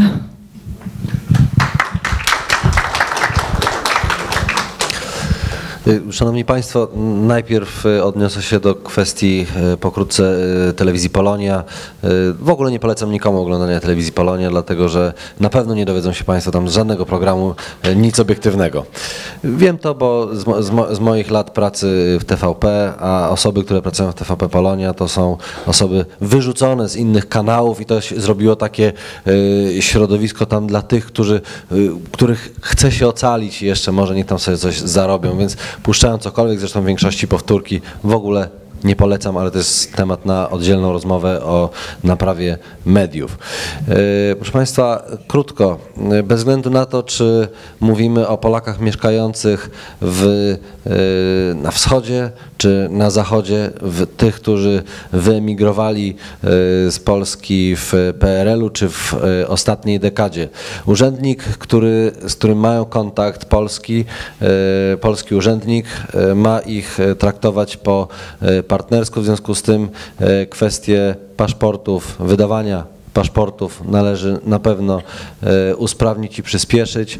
E, kwestia zwiększenia i przesunięcia tych środków, które zostały zabrane e, Senatowi. E, to już bez względu na to, z którego źródła one są wydawane, to jest to, co wcześniej powiedziałem, to nie daje żaden konsul, ani żaden ambasador. To są pieniądze Rzeczypospolitej Polskiej, na przykład dla szkół polskich i tu również bez względu na to, czy mówimy o szkołach dla, dla, dla Polaków na Litwie, czy czy, czy w Stanach Zjednoczonych. Kwestia podwójnego opodatkowania oczywiście znacznie trudniejsza, e, bo tutaj są wymagane e, na pewno potrzebne negocjacje na poziomie e, Warszawa-Waszyngton. I ostatni z priorytetów moim zdaniem dla Polonii to jest, czy Polaków mieszkających za granicą, to jest powrót tych którzy chcą y, wrócić do Polski ze wschodu i oddanie im obywatelstwa, bo to jest obowiązek państwa polskiego bez względu na to, przez kogo jest rządzone. Dziękuję Państwu. Ja może chciałam nawiązać do filmu a jak Feniks z popiołów. A, Feniks z popiołów, tak. A to jest bardzo symboliczne, że powstał piękny, wspaniały film, a którym, który budził za, zainteresowanie za granicą a, i który nie znalazł zainteresowania ani odbiorców w oficjalnych e, kanałach, nazwijmy to, w krajów. Ten problem to jest problem naszej świadomości. To jest bardzo głęboki problem.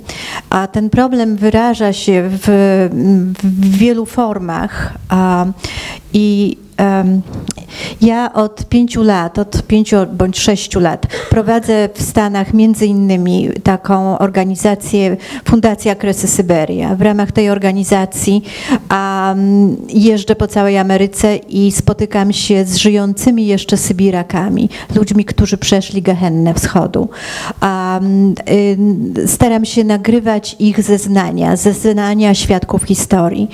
A spotykam tych ludzi y, w już u schyłku ich życia i dzielą się ze mną swoimi przeżyciami, czasami po raz pierwszy wręcz. I e, jednocześnie oferują mi bardzo często swoje najcenniejsze pamiątki, mówiąc, że nie mają komu ich zostawić, że ich dzieci już nie są zainteresowane, ich dzieci może nie czytają po polsku, ich dzieci tego nie rozumieją. I staję przed ogromnym problemem, um, masy e, dokumentacji historycznej, bezcennej dokumentacji historycznej, naszej bardzo ważnej historii, która w zasadzie odchodzi razem z Sybirakami, ponieważ e, nie ma mechanizmu ratowania tej historii na taką, w takiej formie i na taką skalę, jaka jest potrzebna. Ja nawiązuję tutaj do e, wypowiedzi pani ze Szwe Szwecji na temat e, archiwów. Um, i, I tutaj również do pani z Anglii, ponieważ u was jest cała masa Sybiraków. To jest właśnie to środowisko, z którym ja pracuję od, od, od długiego czasu. A potrzeby tego środowiska, żeby zachować ich historię w sposób należyty, są tak ogromne, że przerastają możliwości Polonii amerykańskiej. My mamy w Stanach Zjednoczonych Muzeum Polskie w Chicago. To muzeum pęka w szwach. Ono niby jest finansowane przez Unię Kredytową, Roman Catholic Credit Union, a niemniej środki są niewystarczające. Lokalizacja już jest powiększana i nadal się te materiały nie mieszczą. Dochodzimy do sytuacji, w której, proszę Państwa, listy katyńskie znajdowane są na śmietniku, czasami w różnych dystryktach i rejonach Chicago. Nie ratujemy naszej dramatycznie ważnej historii Golgoty Wschodu. A tak jak nie mamy do dzisiaj Muzeum Katyńskiego, nie mamy e, Muzeum Golgoty Wschodu, nie jesteśmy w stanie w należyty sposób zabezpieczyć tej historii tak ogromnie dla nas ważnej, której nie znamy, której nie znamy.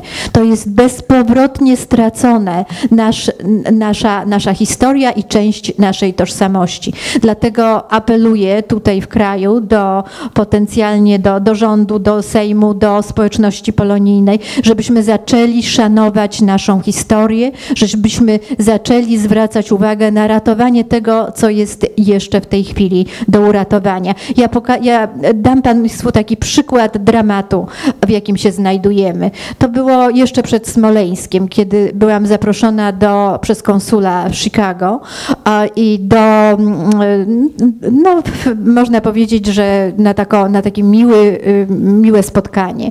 I to było w nowym budynku. Konsulat się właśnie wyremontował i e, konsul był strasznie dumny, pokazując mi, jaki piękny ten budynek jest i jednocześnie wręczył mi przepiękną książkę, wspaniale ilustrowaną właśnie historii tego budynku konsulatu w Chicago. Sama ta książka i jej przygotowanie kosztowała bardzo dużo pieniędzy. Następnie dystrybucja jako prezent była e, na pewno też kosztowna. I w tym momencie, jak ja dostałam tą książkę, to miałam przed oczami e, pamiętnik Jasia Kobylaka. To jest pamiętnik pisany przez chłopca, który został deportowany na Syberię w pierwszej wywózce syberyjskiej, 40 rok luty. I on pisał swój pamiętnik ze swoich przeżyć deportacyjnych od momentu deportacji do momentu śmierci na Syberii w wieku 17 lat, po, po niecałym roku pobytu y, na Syberii.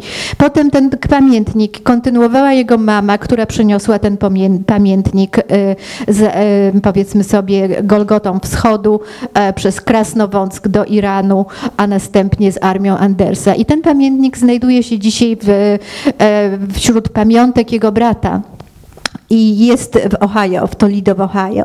I to jest materiał absolutnie bezcenny. I pan y, Stanisław pyta się, Pani Mario, co ja mam z tym zrobić? Co, co, co, co pan Jan, pan Stanisław ma zrobić z pamiętnikiem swojego brata Jana Kobylaka? Bezcenny materiał.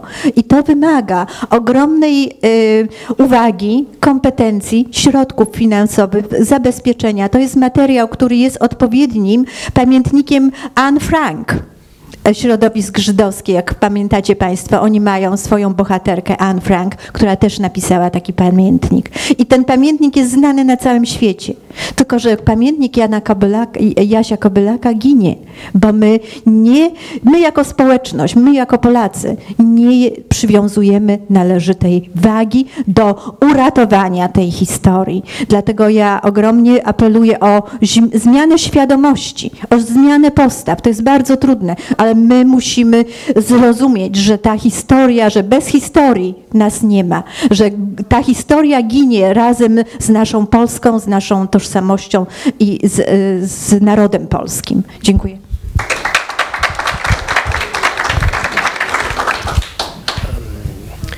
Dziękuję bardzo mm, tej osobie, która nazwała nas wszystkich troje kandydatów do Sejmu młodymi kandydatami, bo ja się czuję oczywiście młody z racji z tego, że mój syn chodzi do drugiej klasy szkoły podstawowej, ale w porównaniu z moimi, no tak się składa, że koordynacja to na nas wymusza z moimi przyjaciółmi, kolegami i rywalami, jestem młody nieco mniej.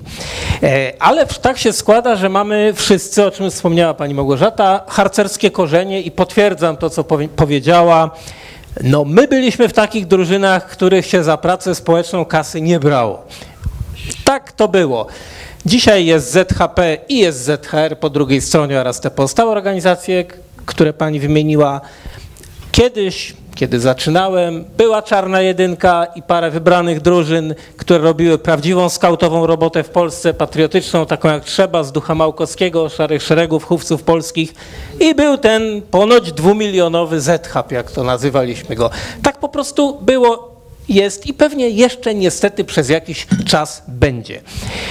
A teraz przechodząc do spraw, y, które zostały tutaj po, poruszony. Bardzo będę starał się krótko mówić. E, pan Lachowski, o ile dobrze zapamiętałem nazwisko z Los Angeles, wspomniał o tym, że jest potrzeba zrobienia porządku z telewizją Polonia.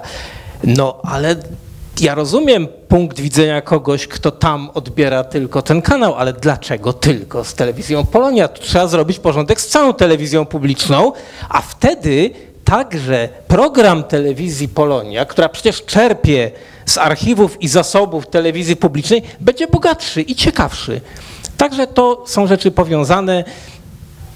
Taki taki temat został, taki, taki temat do realizacji został zapowiedziany i niewątpliwie będzie to jedno z najpilniejszych zadań, o tyle, o ile 25 października skończy się tak, jak sobie tego życzymy, a nie inaczej. E, sprawa smoleńska. Tutaj było już wspomniane, kiedy, ale ja powiem o tym pod troszeczkę innym kątem, pod kątem, który nas zgromadził. Otóż kiedy pod, w zespole parlamentarnym pod kierunkiem pana ministra Antoniego Macierewicza przygotowywaliśmy najpierw Białą Księgę, a potem coroczne raporty podsumowujące wyniki badań zespołu i współpracujących z nim doradców, e, zwracało uwagę, że z roku na rok rośnie merytoryczny wkład doradców technicznych czy doradców naukowych i tak się składa, że chociaż duża grupa polskich uczonych pracujących w kraju też współpracowała z zespołem, to jednak tam największy wkład wnosili polscy uczeni z emigracji, ze Stanów Zjednoczonych, tak jak mąż szanownej pani, czy profesor Nowaczek, czy, czy z Kanady, doktor Berczyński, czy z Australii, doktor Szuladziński. Mówiąc krótko, ponieważ ja lubię dostrzegać w różnych aspektach rzeczywistości ich dobrą stronę, no taką mam naturę, nic na to nie poradzę, tak? Mnie rodzice wychowali, więc ja to odebrałem w ten sposób. Nawet w ciężkim czasie tych ośmiu lat rządów, które no mam nadzieję, że dobiegają końca, jeżeli gdzieś udaje się stworzyć enklawę sensownej działalności publicznej, to wtedy w sposób naturalny nawiązuje się współpraca między Polakami z kraju i Polakami z emigracji. Właśnie współpraca, tutaj parę razy padł, zostałem skarcony za użycie słowa pomoc. No nie ja je wymyśliłem, jest w Konstytucji zapisane. Ale tak, tu była współpraca jak się wydaje współpraca bardzo owocna. Zmiana polegająca na tym, że to nie będą enklawy, tylko będzie to po prostu państwo polskie, no to jest, jak rozumiem, cel nas wszystkich przy tym stole. Inwestowanie w Polsce, powroty z emigracji, wsparcie dla oświaty, pomoc dla oświaty emigracyjnej. To takie trzy, że tak powiem, związane rzeczy. Tutaj jeśli chodzi o, o, dwie pierwsze, inwestowanie, powroty z emigracji, no bliskie mi są tezy pana Zawitkowskiego, tutaj pan Sobczyk też wspominał o tym. E, no mówiąc krótko, przede wszystkim tak, trzeba wszystkim nie przeszkadzać. Pomagać to jest zawsze drugi krok. E, po drugie, no w, każdej rozmowie z, e, i w trakcie wyjazdów, i w korespondencji mailowej, i no ja też mam w sumie czworo rodzeństwa stryjecznego w Stanach Zjednoczonych z rodzinami, więc też coś niecoś o tym wiem. E, I mam co najmniej pięcio, pięciu kolegów z klasy maturalnej z rodzinami, a już nie wspomnę o kolegach i koleżankach ze studiów, bo to była matematyka, Uniwersytet Warszawski, więc jest ich tam bardzo dużo, od Los Angeles aż po Chicago. No i wszyscy oni mówią tak, no dlaczegoż ci ludzie, którzy weszli do elity, albo tacy, którzy są tylko emigracją za chlebem, bo przecież jesteśmy i tacy, i tacy. Dlaczegoż oni mieliby wracać do Polski w warunki gorsze niż stworzyli na emigracji swoim rodzinom? Tak się nie postępuje. To wymagałoby heroizmu. Heroizmu, heroizm podziwiamy, ale heroizmu nie można od nikogo wymagać, zwłaszcza gdy dokonuje się kosztem jego dzieci. Mówiąc krótko, jeżeli państwo polskie nie stworzy szybko sens polityki prorodzinnej, sensownej, konkurencyjnej, jeżeli nie stworzy miejsc pracy, jeżeli nie będzie sprzyjać tworzeniu miejsc pracy, bo to przecież tworzą przede wszystkim prywatni przedsiębiorcy, ale państwo też. Jeżeli tutaj nie będzie stworzonych, nie będzie uproszczonych, sensownych warunków do inwestowania, a przede wszystkim, tak jest, przede wszystkim polityki podatkowej, to musi, to jest oś, podstawa, klucz, no to mówiąc krótko, no jakże można uczciwie mówić ludziom wracajcie? To by była demagogia. I ja jadąc tutaj, no nie może, wczoraj, zapoznałem się z takim streszczeniem założeń do budżetu e, irlandzkiego na przyszły rok. Irlandzkiego, tam gdzie się rodzi w tej chwili najwięcej dzieci w Europie, u nas prawie że najmniej. I tam ma wzrosnąć najniższa płaca do 9-15 euro. Tam podatek dla zarabiających do 70 tysięcy euro ma być jednocyfrowy, tam dodatek na dziecko ma wzrosnąć do 140 euro miesięcznie.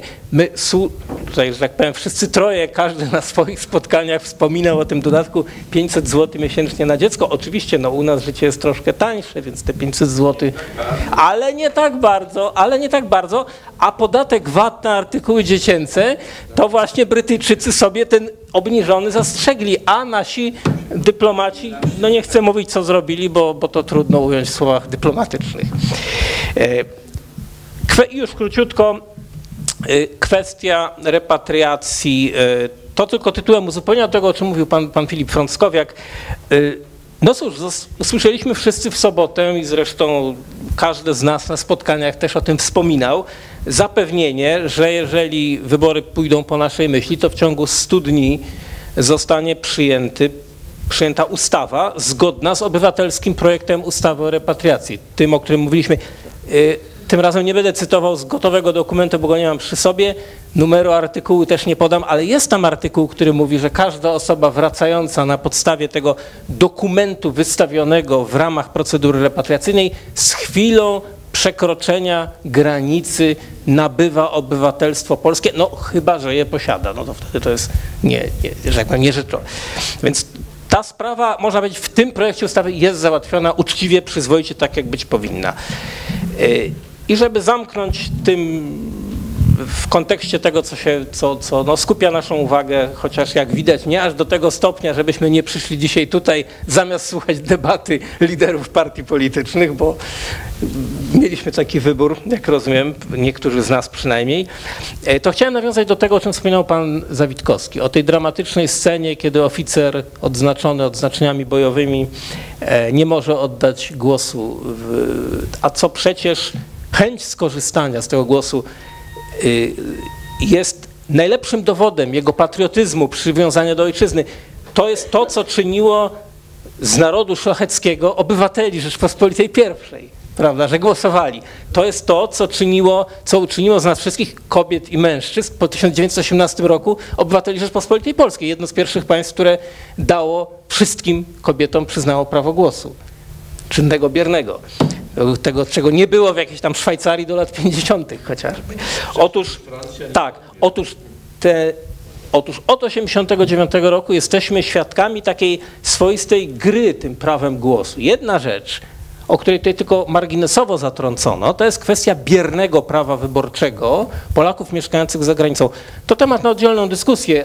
Wtedy, kiedy do zmieniania ordynacji wyborczej zabierze się nowy Sejm. Natomiast drugą sprawą jest kwestia czynnego prawa wyborczego. Otóż warto pamiętać, że w 1989 roku, kiedy władzom warszawskim zależało na masowej frekwencji potwierdzającej no, prawomocność tego, co ustalono przy okrągłym stole, Polacy z emigracji, tak jak Polacy w kraju, mogli głosować na dwóch świadków na dwóch świadków. Można było przyjść do gminy w Polsce, ktoś bez dowodu i mógł się dwoma świadkami wylegitymować, że jest tym, za kogo się podaje. Przecież wtedy takie prawo obowiązywało w kraju i takie prawo też wtedy zastosowano jednorazowo za granicą. A potem się zaczęło przykręcanie śrubki, no bo się zorientowano, że ta emigracja i ta Polonia to nie zupełnie tak głosuje, jakby sobie władze warszawskie ówczesne wyobrażały. I jakoś dotarło do ludzi, i z każdym rokiem dociera ponownie, że gdzie jak gdzie, ale w Chicago to ani komuniści, ani ich liberalni sojusznicy nigdy nie wygrali i myślę, że nigdy nie wygrają. I w wielu innych miastach kanadyjskich, amerykańskich i w dużej części Europy też. Może w Moskwie wygrają, może w Penianie, może gdzieś tam jeszcze. Dobrze, niech się z tego cieszą. My wolimy wygrywać w Chicago. Dziękuję Państwu bardzo. Ja, ja, chciałem jeszcze na sam koniec, dobrze, że tak wróciliśmy do tematyki wyborczej. Bardzo dziękuję. E, e, bo tak, jedną to jest udział procentowy, prawda, głosów, które chociażby za granicą e, ma miejsce, natomiast jakby nie patrzeć, on jest wliczany ilościowo. Ilościowo to niestety jest bardzo niewiele. To trzeba sobie zdać sprawę. E, Dzisiaj rano sprawdzałem, 142 tysiące Polaków za granicą jest zarejestrowanych, więc to jest dużo mniej niż było w, w pierwszej turze wyborów prezydenckich i tym bardziej w drugiej turze wyborów prezydenckich. To jest, e, to jest bardzo s- smutna sytuacja, ale jeszcze jest apel, bo są jeszcze dwa dni do rejestracji, więc wszystkich o to proszę.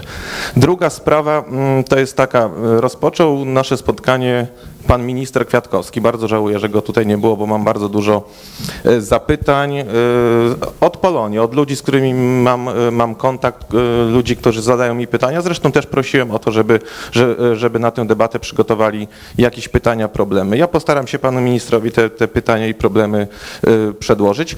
Natomiast pan minister wspominał o biurze Zresztą to też było w ramach, w ramach kampanii wyborczej e, prezydenta, obecnego prezydenta pana Andrzeja Dudy. E, Biuro do spraw Polonii e, i kontaktów z zagranicą. Kontaktów z zagranicą to się tak nazywa. Fajnie, coś takiego ponoć istnieje. Proszę zwrócić uwagę i to jest informacja też od, od, od, od moich rozmówców, żeby wejść na stronę prezydent.pl i zobaczyć, jak wygląda kwestia biur, które są zorganizowane. Tylko biuro do spraw Polonii nie ma osoby, która za to odpowiada, nie ma adresu, nie ma y, telefonu. To zwracam na to uwagę. Y, www.prezydent.pl, jak się wejdzie na stronę biur, dzisiaj rano sprawdzałem, rzeczywiście tak cały czas jest, tylko, tylko właśnie biuro do spraw kontaktu z, z Polakami za granicą nie ma w cudzysłowie opiekuna. Polacy właśnie o to proszą, żeby był kontakt z panem ministrem, który do tej pory, y, no przynajmniej w tych środowiskach, z którymi y, mam do czynienia, y, kontakt z panem ministrem, wtedy z panem posłem był bardzo dobry. Od czasu, kiedy pan poseł stał się panem ministrem, ten kontakt niestety się urwał. I to jest też apel o to, żeby spróbować zmobilizować te środowiska. Dziękuję bardzo.